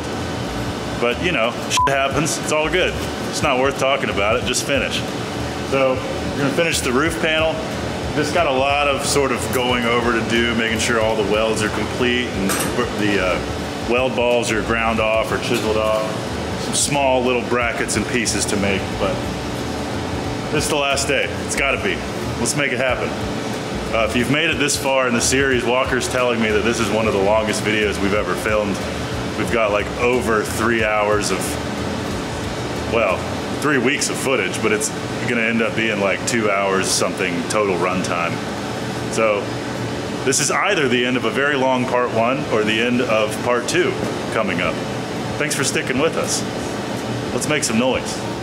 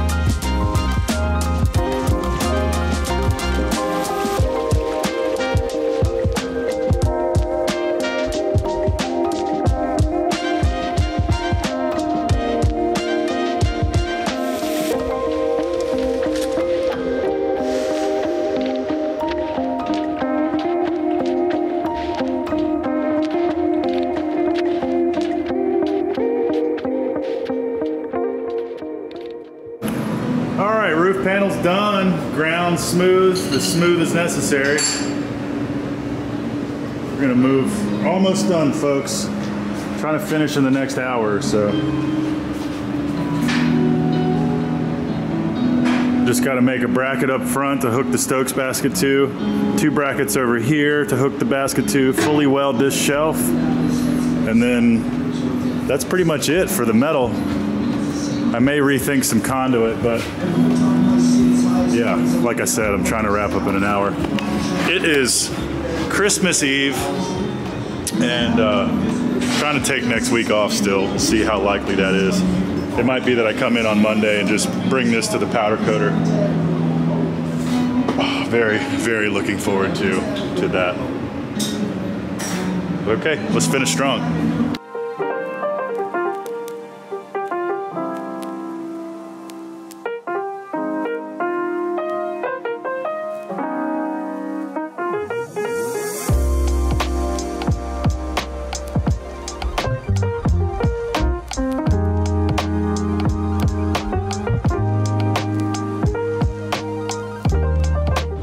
Stokes in it or not?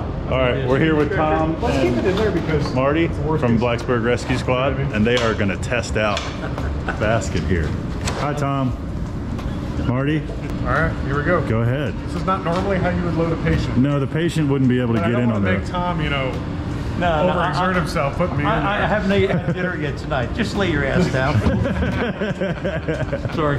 No, that's the right humor for the YouTube for sure. See, that was the concern right there. Now, ho- hopefully, you don't uh, have a scary dream and wake up real fast. Yeah, right. Now the problem is you may end up with a really robust person, Right. and that's going to be the m- main concern is a robust person. Well, what about then you drag this behind on a rope? Is that insensitive? I'm, I'm not sure. We're sorry, Patty. yeah, yeah. One, one thing I'll, s- I'll suggest though, right here on these edges, maybe Yeah. we can put some uh, edge protector on there. that- Totally. that rubberized. Just that way, there's no risk of anybody Yeah, so don't slicing lift your head up from and there. beat it. Yeah, somebody, you know, Narcan, and then they go boom, boom. That's been my fear with the shelf kind of the whole time. That's why we have, in the beginning wanted it removable, but then the fear is, will it ever get to the point you just can't take it off? yeah. Yeah, and pretty easily, I think it would. Now, the uh, the one thing I was wondering about, and that's where uh, it was just kind of if you would feel claustrophobic in here. And that's part of part of the reason I climbed up in here. I'm not a great person to test that because I climb around in caves, but you know, but uh, um, it doesn't feel too bad. It feels pretty eerie and open. Like especially you look over here, it feels very open. I can see Tom. You know, gives me that'll freak you out. That he's by my side. You know, like, yeah, right. And Then, then then you know he's on drugs. yeah, then you'll see the monitor start. He's hallucinating. you guys already started, Santa. didn't you? Whatever you got in there is good. Keep feeling it. No, but- Santa! I got my haircut. Cool. Yeah. All right. Do you feel uh, cared for? yeah. I feel very careful. Yeah. Hold on, his heart stopped. Oh, that's funny. I was gonna say maybe a handhold so the patient can roll out of here, but I don't think that's No, a you're not going to come out that way. Exactly. Yeah, you'll be loaded in and out like a piece of bread in a toaster. Yes. You're right. But see how the light's going to get mounted? Yep. Yeah, I screwed one in. Now, with the intent is all the wiring's going to come into the tube, and all the wiring we've done inside the block. And Tom, I can add any little chunks of tube in that front corner if you deem it helpful. Plenty of that conduit left over. You wanted to throw one right here just to. Yeah, if you don't mind, I would still put one right here. Yeah, that's fine. If you don't mind, I, I think so because at least it will keep it out of the way. Yeah. But like I said, you if you if you haven't ground these yet, make sure when you put them in, they're they're kind of loose. Yeah. So when you pop the thing in, it will actually lock it in. And if you don't mind me suggesting, once you grind and put the gasket in, then pop the light in to make sure it still pops in. Totally. Yeah, I'll remove about an eighth of an inch of material all the way around, giving a quarter in each. That each. should that should do it. Yeah. Curious question, Tom. Huh? Uh, I just just a question for you. Go for it. Were we thinking about wiring and charging things from the monitor? No. Okay. No. It'd just be uh, It's not necessary. I this just light with the interior lights and uh, the red lights. That's it. That's just a backup, like a load light. That's a rear load light. I guess yeah, I could switch that one independently. Plenty of room in here. I mm-hmm. I could add a. No, you don't want to take up any more. No, I don't space in here. it. If you did anything, I would put it in here. I can put a little curved gusset in there if you want to drill a hole later for yeah, a why don't switch you or put a something. gusset in here? Okay. So I'm glad I'm filming this. I'm this taking way, notes. this way, I, the wire could come down into the gusset, Yeah. and then from there it would have to come back up into the tubing. Cool. But we could do that. Yeah. I was I was almost thinking about a lip here, but a lip would keep making it really hard to get the monitor up there. So Yeah, we, we were trying to get as much height as possible. yeah, I agree. And I, I wouldn't want to go any lower with the shelf after getting in there and, and experiencing. No, well, believe it or not, we gave an, an inch more. Yeah, we slammed it up into the ceiling as much as we could. And if we get it back and everyone dislikes it, we can always have it cut out and touched up. Sure can. If the the worst case scenario, it's if somebody said that they didn't like it, I would still recommend we keep this shelf here, but maybe we cut out the front section here where the head is attached. well, there's a That's thought. worst case scenario. Just to Yeah, but I, I personally like this. But yeah. Well, Sid wanted it there so that you could be sitting there watching it. yeah, and it's a great location. It actually is a perfect location to sit here and use the monitor. So this is ideal. Well, fellas, other than some small things, what do you think? I mean, I'm, I'm for, I'm saying let it go. I'll be what's it, Elsa? Let it go. Yeah, no, I agree. I mean, just touching up like the corners and stuff like that. Yeah, I'll do like an ergo ergonomic pass on that shelf. Make I sure. just wonder if you could Just bend it all the way bend in. it in and Yeah. just, like all the way across. too. I don't know, but we might lose some rigidity if we do that. But yeah. No. It was the reason I bent it initially was because I thought I was going to have to rely on the strength of the sheet itself because when it was still removable, I wanted, you know, a flat piece of metal will bend and but if you put a crease in it like that, it makes it rigid.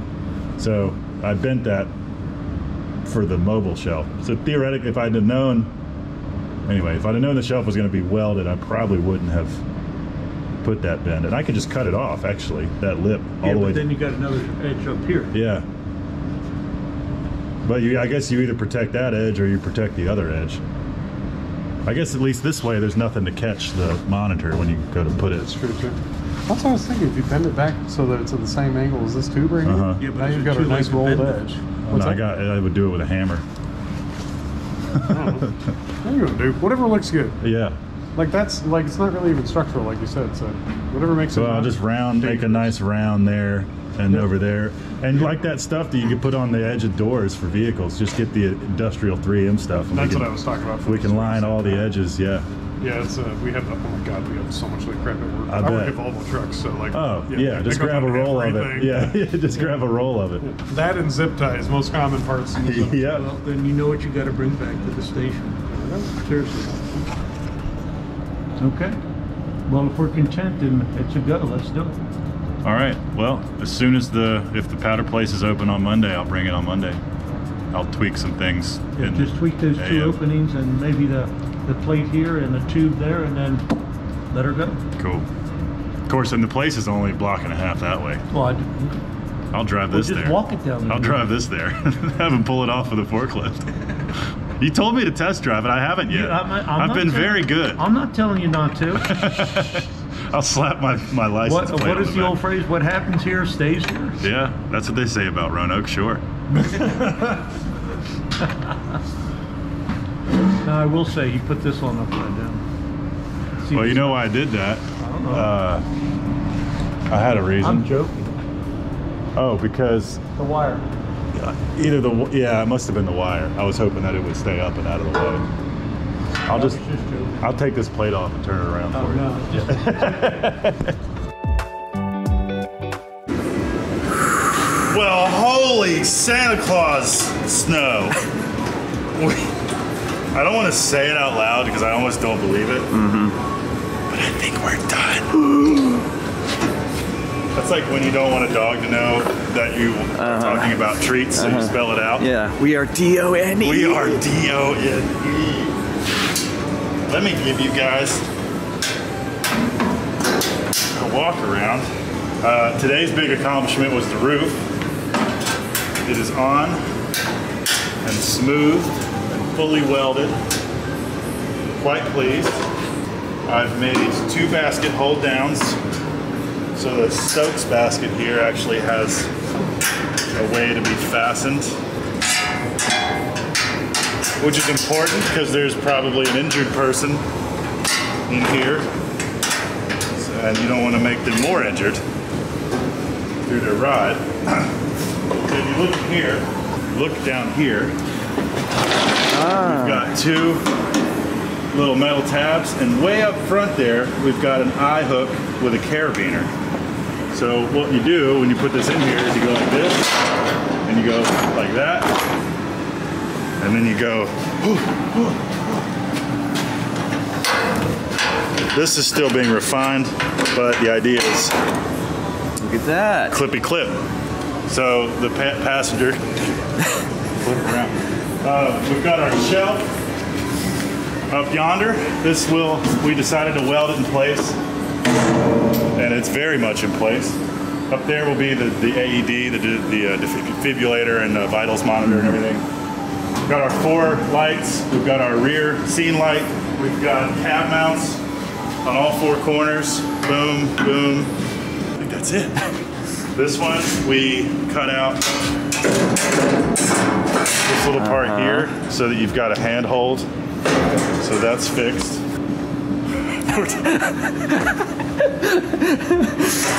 Merry Christmas! It is literally 3:45 on Christmas Eve, and we just finished Santa's sleigh.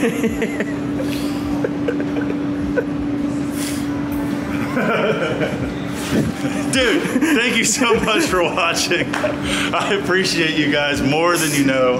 I hope you appreciated all the work that Walker and I have put into this giant, massive episode. I'm exhausted. I'm at the point of uh, mental breakdown. So, it's whiskey time. Woo! Subscribe, like, comment. Thank you. Uh, this build was all, for all the fabricators out there. I'm very proud of what I've built here. I used pretty much every trick in my own book and I operated at the limit of my skills for about two and a half weeks straight. So very pleased. Shop Saver allowed us to do these amazing CNC cut panels. You know, used a lot of roll cage bending experience in this one. Some electrical wiring, automotive wiring experience. I don't know, just kind of took everything I had. So really proud of this, and I, I think the Blacksburg Rescue Squad is going to be really proud of their new rig. So um, we might film this part, we might not, but this is going to go to the powder coater next. It's going to be powder coated satin black to match the rest of the rig here, and it'll be bolted back on and given to them. But taking next week off. Hopefully this will be powder coated during that time. And then when we come back in January, goodbye. Thank you. Bye.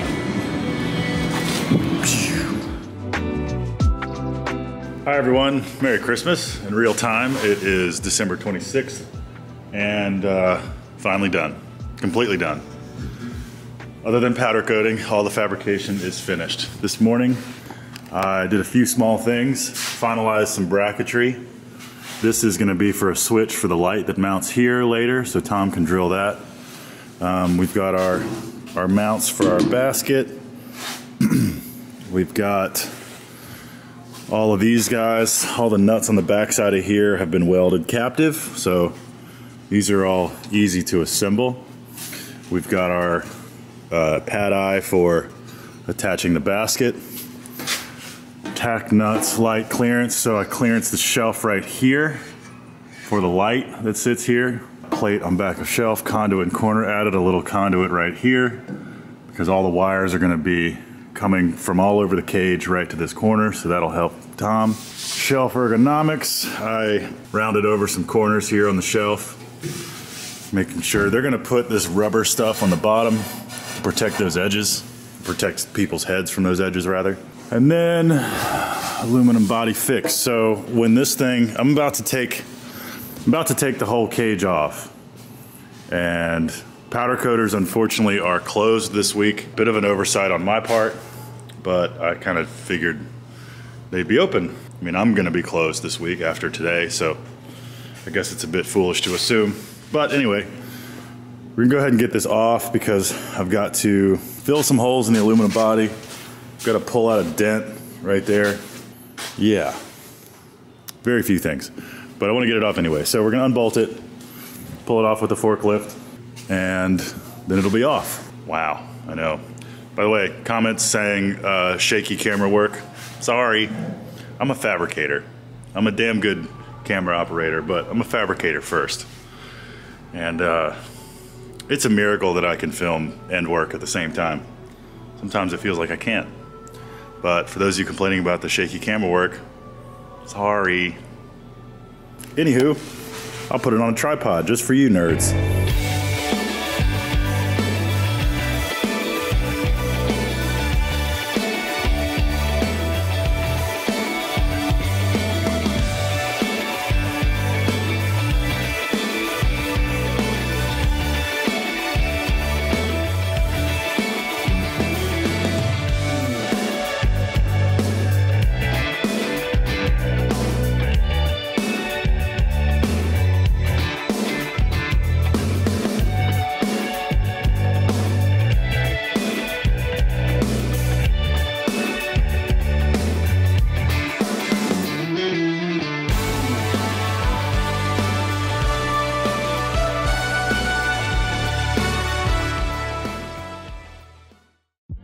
So it's Friday night at 6:30. I'm gonna work another few hours, and I'm probably gonna come in on Sunday because I'd like for this thing to be ready to go to the powder coater uh, first of next week. This thing has to be done today, hell or high water. Here's the cage as it is. Today's the last day we're working on it. Powder So it's all gotta be done. trying to finish in the next hour or so. All right, what's up, nerds? It's Christmas Eve, and we're gonna finish this roll cage. This is the end of week three after what I thought was gonna be a one week build. But you know, shit happens. It's all good. And uh, finally done. Completely done. Other than powder coating, all the fabrication is finished. Powder coaters, unfortunately, are closed this week. Bit of an oversight on my part, but I kind of figured they'd be open. I'm exhausted. I'm at the point of uh, mental breakdown. Hey everybody, Happy New Year. I just want to say thank you so much for watching these the two-part series of uh, building the roll cage for the UTV. It's kind of blown up, so that's exciting. The truck is running behind me right now because I'm taking it to the powder coater uh, up the street. There it is, all nestled in the back of the truck. Got my panels here, and uh, and Turns is like two blocks that way. So let's go drop it off. I don't know how this footage will be used, but I definitely wanted to take you guys along for the finish and the reveal of this thing. So hopefully they can get in here. Oh, hopefully they turn it around pretty quick. In real time, it's Monday, day after New Year's, and I'm hoping they uh, hoping they get it done fairly soon so we can see a reveal and you guys can see a reveal. How about that? The guy in the comments of the last video was like, I don't understand how you make any money. It takes you so long to do stuff. I'm like, yeah, because I'm trying to film everything for you guys. And I'm running a business and have two guys renting from me and have four projects going on at any given time. So it does take me a little bit to do stuff. But my clients are patient with me and I do top notch work. So take it, nerds. I shouldn't say nerds, it's just one guy in the comments. You know who you are. Let's get to work.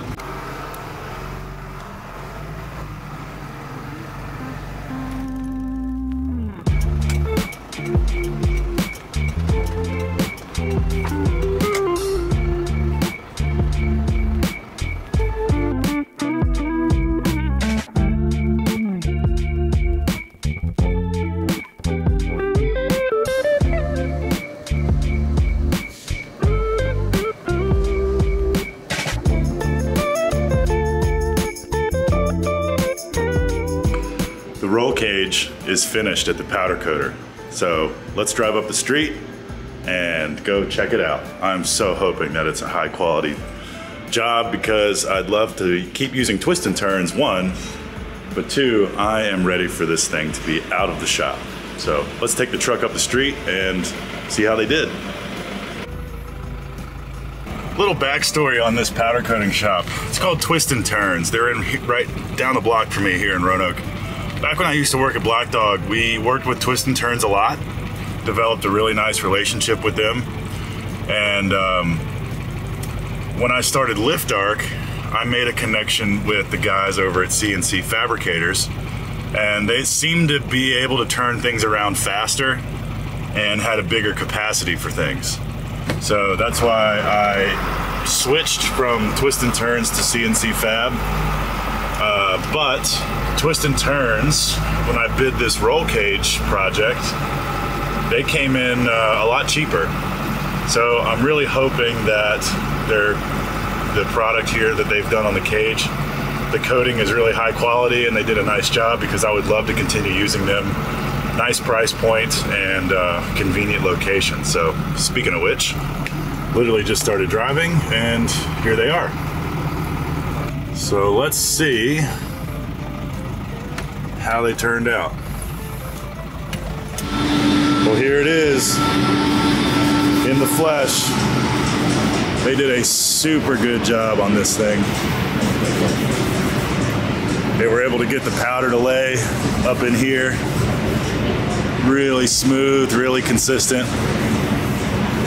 Really excited. Let's get it loaded up.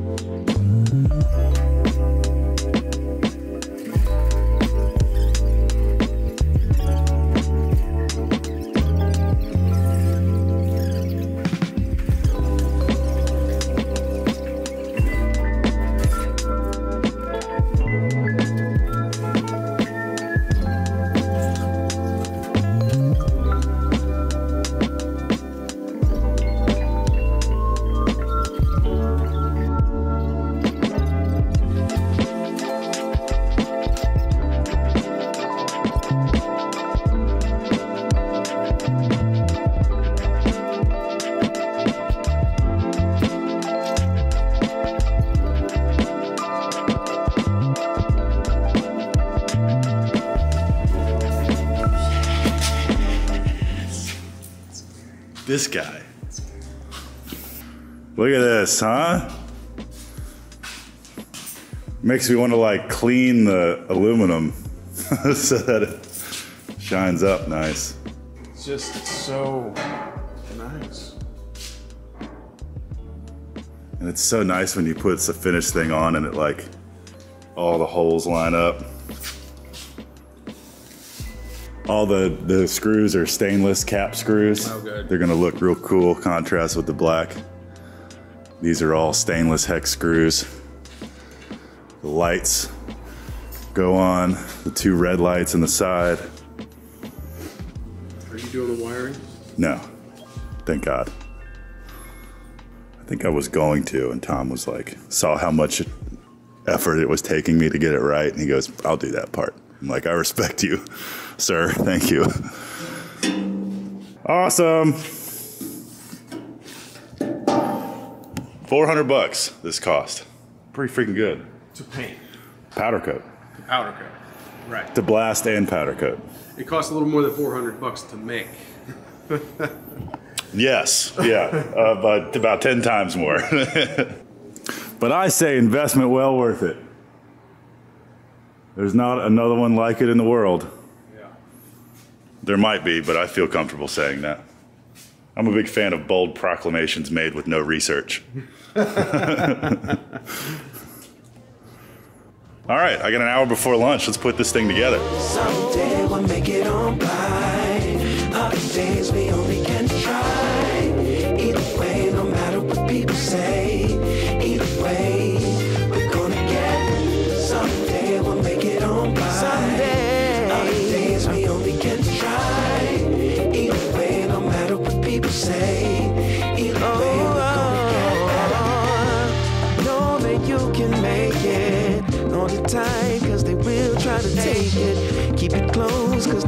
Try to shake it.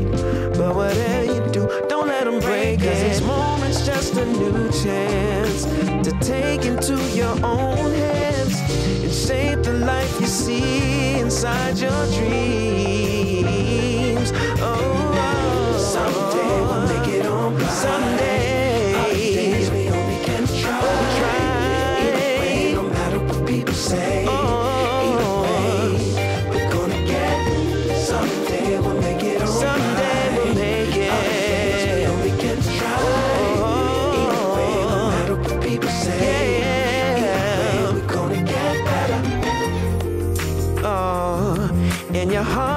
A dream for your soul to master. Ah. From the moment that you breathe, get to chasing after, yeah. All that you want, all that you ever dreamed. Oh, you can make anything of this life. Someday we'll make it on by. Other days we only can Someday we only try. No matter what people say. Oh, either way, uh. we're gonna get.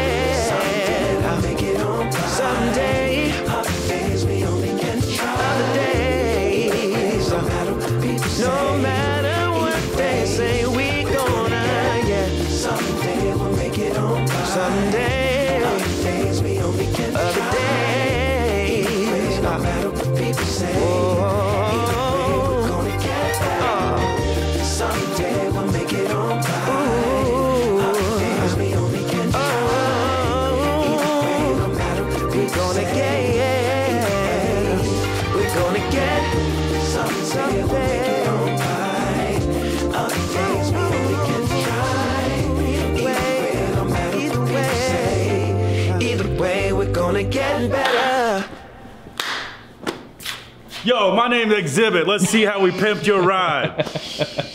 Dude, here it is. It's actually done. It's 100%. Well, let's to be fair, let's just call it 99 just for the sake of perfection. 100%. hey, hey. Stop that. As far as I'm concerned, it's Yes, 100% yes. Man, what a journey. I mean, we're basically sitting here at the end of four weeks. People give me a lot of crap in the comments about like how long it takes me to build a project and how I'm in business and how I make any money. I don't think you guys understand that like I do like five things at once all the time. So yeah, no one's gonna, I mean, with the overhead and everything of a shop, no one could build one thing a month for four grand and like stay in business. Even though technically, if I lived very conservatively, it would technically be possible. There's a lot of expenses involved here. Thousand dollars worth of materials, $500 powder coating bill. So yeah, we gotta keep moving. Trust me, I'm doing other shit. That's why it takes me so long. Well, there's nothing over there right now. I mean, but- it looks like there's a lot over there. but I mean, to overview, if you're just now tuning in, uh, we built the cage structure out of inch and a half DOM 095 wall tubing.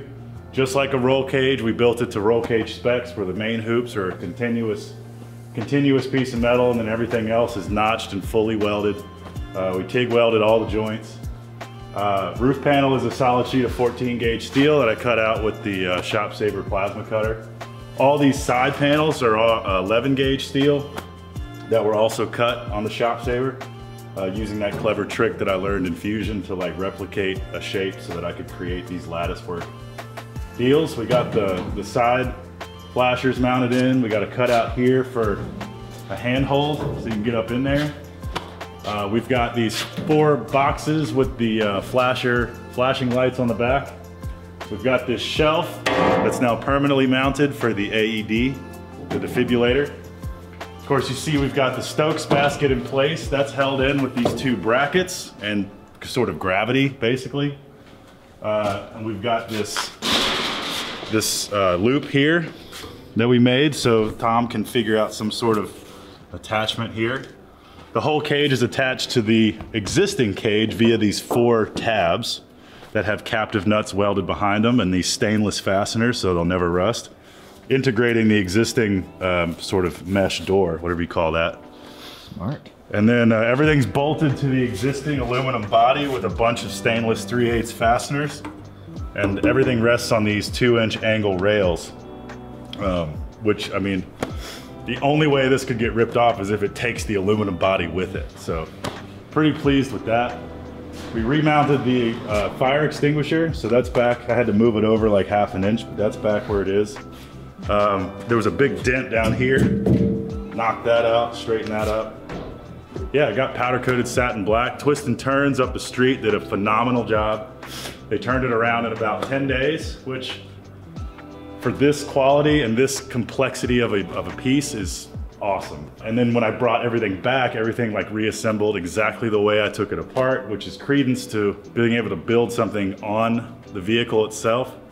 I'm lucky that they have two of these UTVs and they were able to leave this one here with me so I could do all this. But like cut to the before shot, what it mm-hmm. looks like, what it looked like before with that weird aluminum bar and what it looks like now. I mean, Tom wanted this thing to be, you know, one of a kind, stand out, make a statement, and um, I think we've achieved that. I think it do. So Tom will be here very soon. I might back this thing out and take a victory lap down the street, but uh, yeah, this is this is a portfolio piece. I'm gonna take the nice camera out, take a bunch of nice photos, and uh, see if anybody else out there wants me to build something crazy for their UTV. UTVs are great because they fit in the shop. Yeah, there you Although go. the guys are probably tired of walking around. the biggest project gets the right of way, I guess. Uh-huh. Oh, we, I mean, I don't know if there is an answer to this, but we did have some questions about this being open. Oh yeah. Well, this was sort of just a concession made between Tom and I.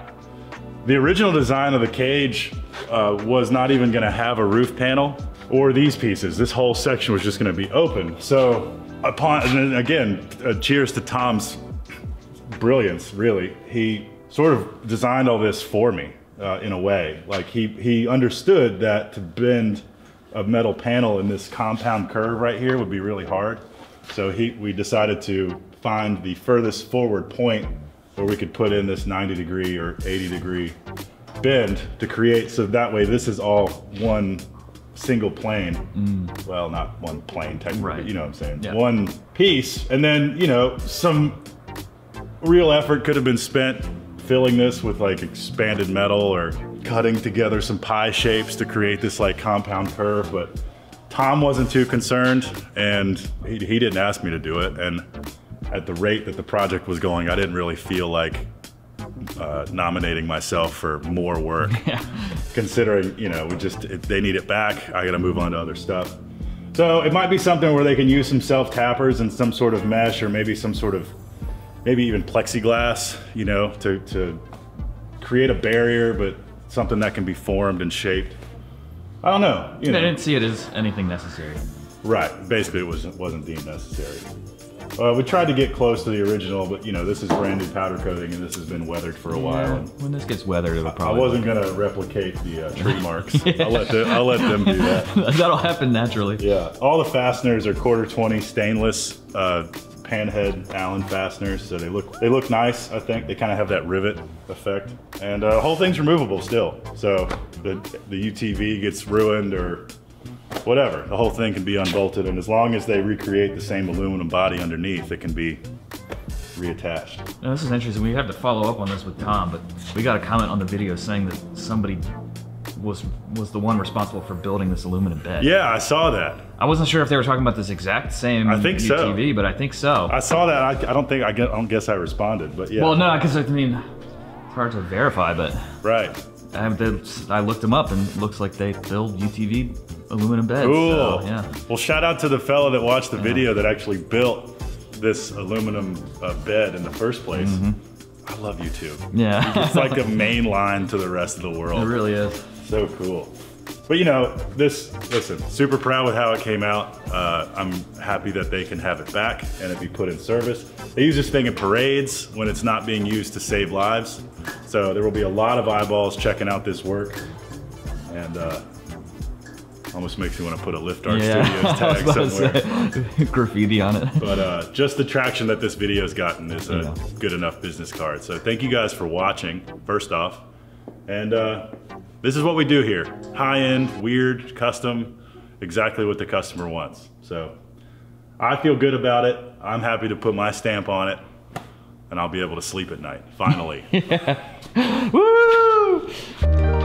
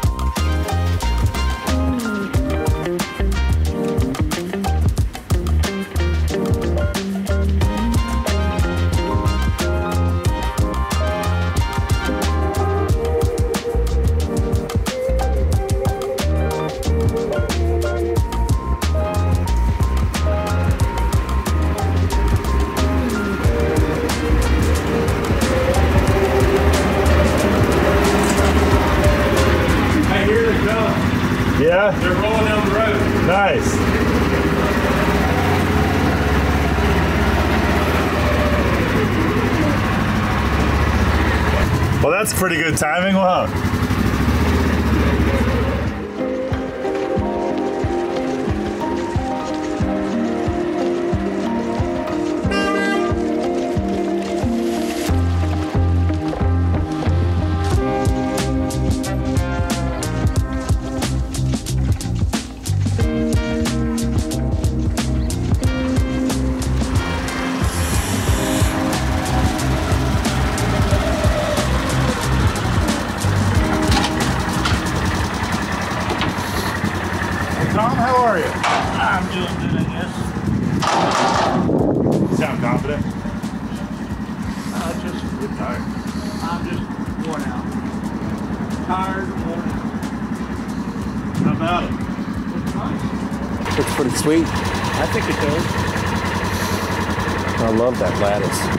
I love the lattice work on the sides. Well, I do too.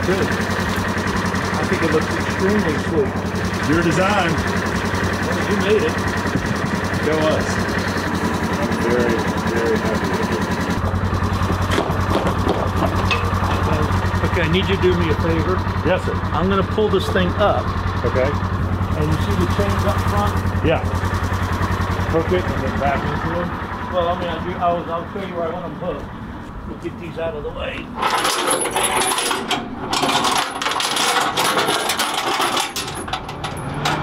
Okay.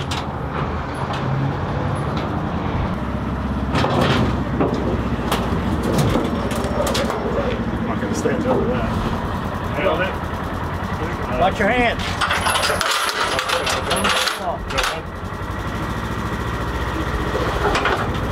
Now you can clip it.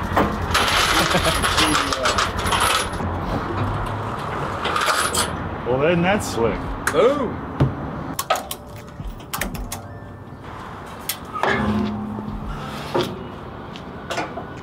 Man, that's fancy. That's a nice trailer. So now you need to advertise this and see if you can make it for someone else. Yeah, well, we've documented it, taken a bunch of pictures.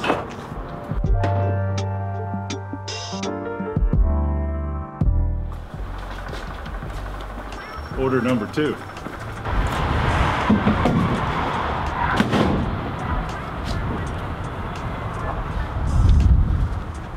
As we discussed, Domo arigato. yeah, I had to beat on people to get that to go. Well, I certainly appreciate you fighting for me. I'm sorry. Well- sorry you had to. No, no, no, no. I, I'm used to pissing people off. Well, Trust somehow me. you haven't pissed me off. It's a valuable skill. In fact, I'm worried No it's the other way comment. around. But yes. Thanks again, man. Tom, take care. I really appreciate And it. And we'll man. maybe see you again. Yeah. And you take care too, Always a sir. pleasure. Yes, Thank sir. you for trusting me with the project. Yeah. No, no. I like I said, I think it turned out extremely well. yeah, I'm very pleased with it. And uh, I think everybody should be happy. Again, take care. Yep. Tom, Drive safe. thank you, man. Bye bye. I'll see you next Christmas. I'll come let you know what I want. Do that. It's out of here.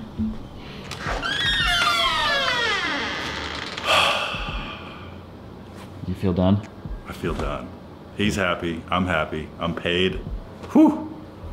Joke's on you, nerds. I made some money on that project. All right. See you next time. Bye. well, uh, seriously, uh, the channel's been growing like crazy. Uh, I've been working my ass off to, well, fab projects for people that I'm proud of and that they like, but also take you guys with us. So thanks for dealing with, uh, you know, shaky camera work, uh, timelines with gaps. Walker's been really putting in a lot of effort to uh, fill in the holes, let's say, that I leave for him. So uh, thank you for all the support. Like, subscribe, comment. I'm terrible at, replying to comments, but Walker tries to help me, and I'm gonna sit down when I can and catch up. But um, oh, if you like that mag drill that we reviewed or that anvil that we reviewed, uh, the affiliate links are down here for vevor.com. Uh, we get kickback from that, so if those two things are something you're looking to do uh, or buy for yourself, I think you can do VV Pro for some money off and use the affiliate link, and we get a kickback. Thank you for the support. Until next time. Uh, This has been Lift Arc Builds at Lift Arc Studios. What a clean ending. Bye.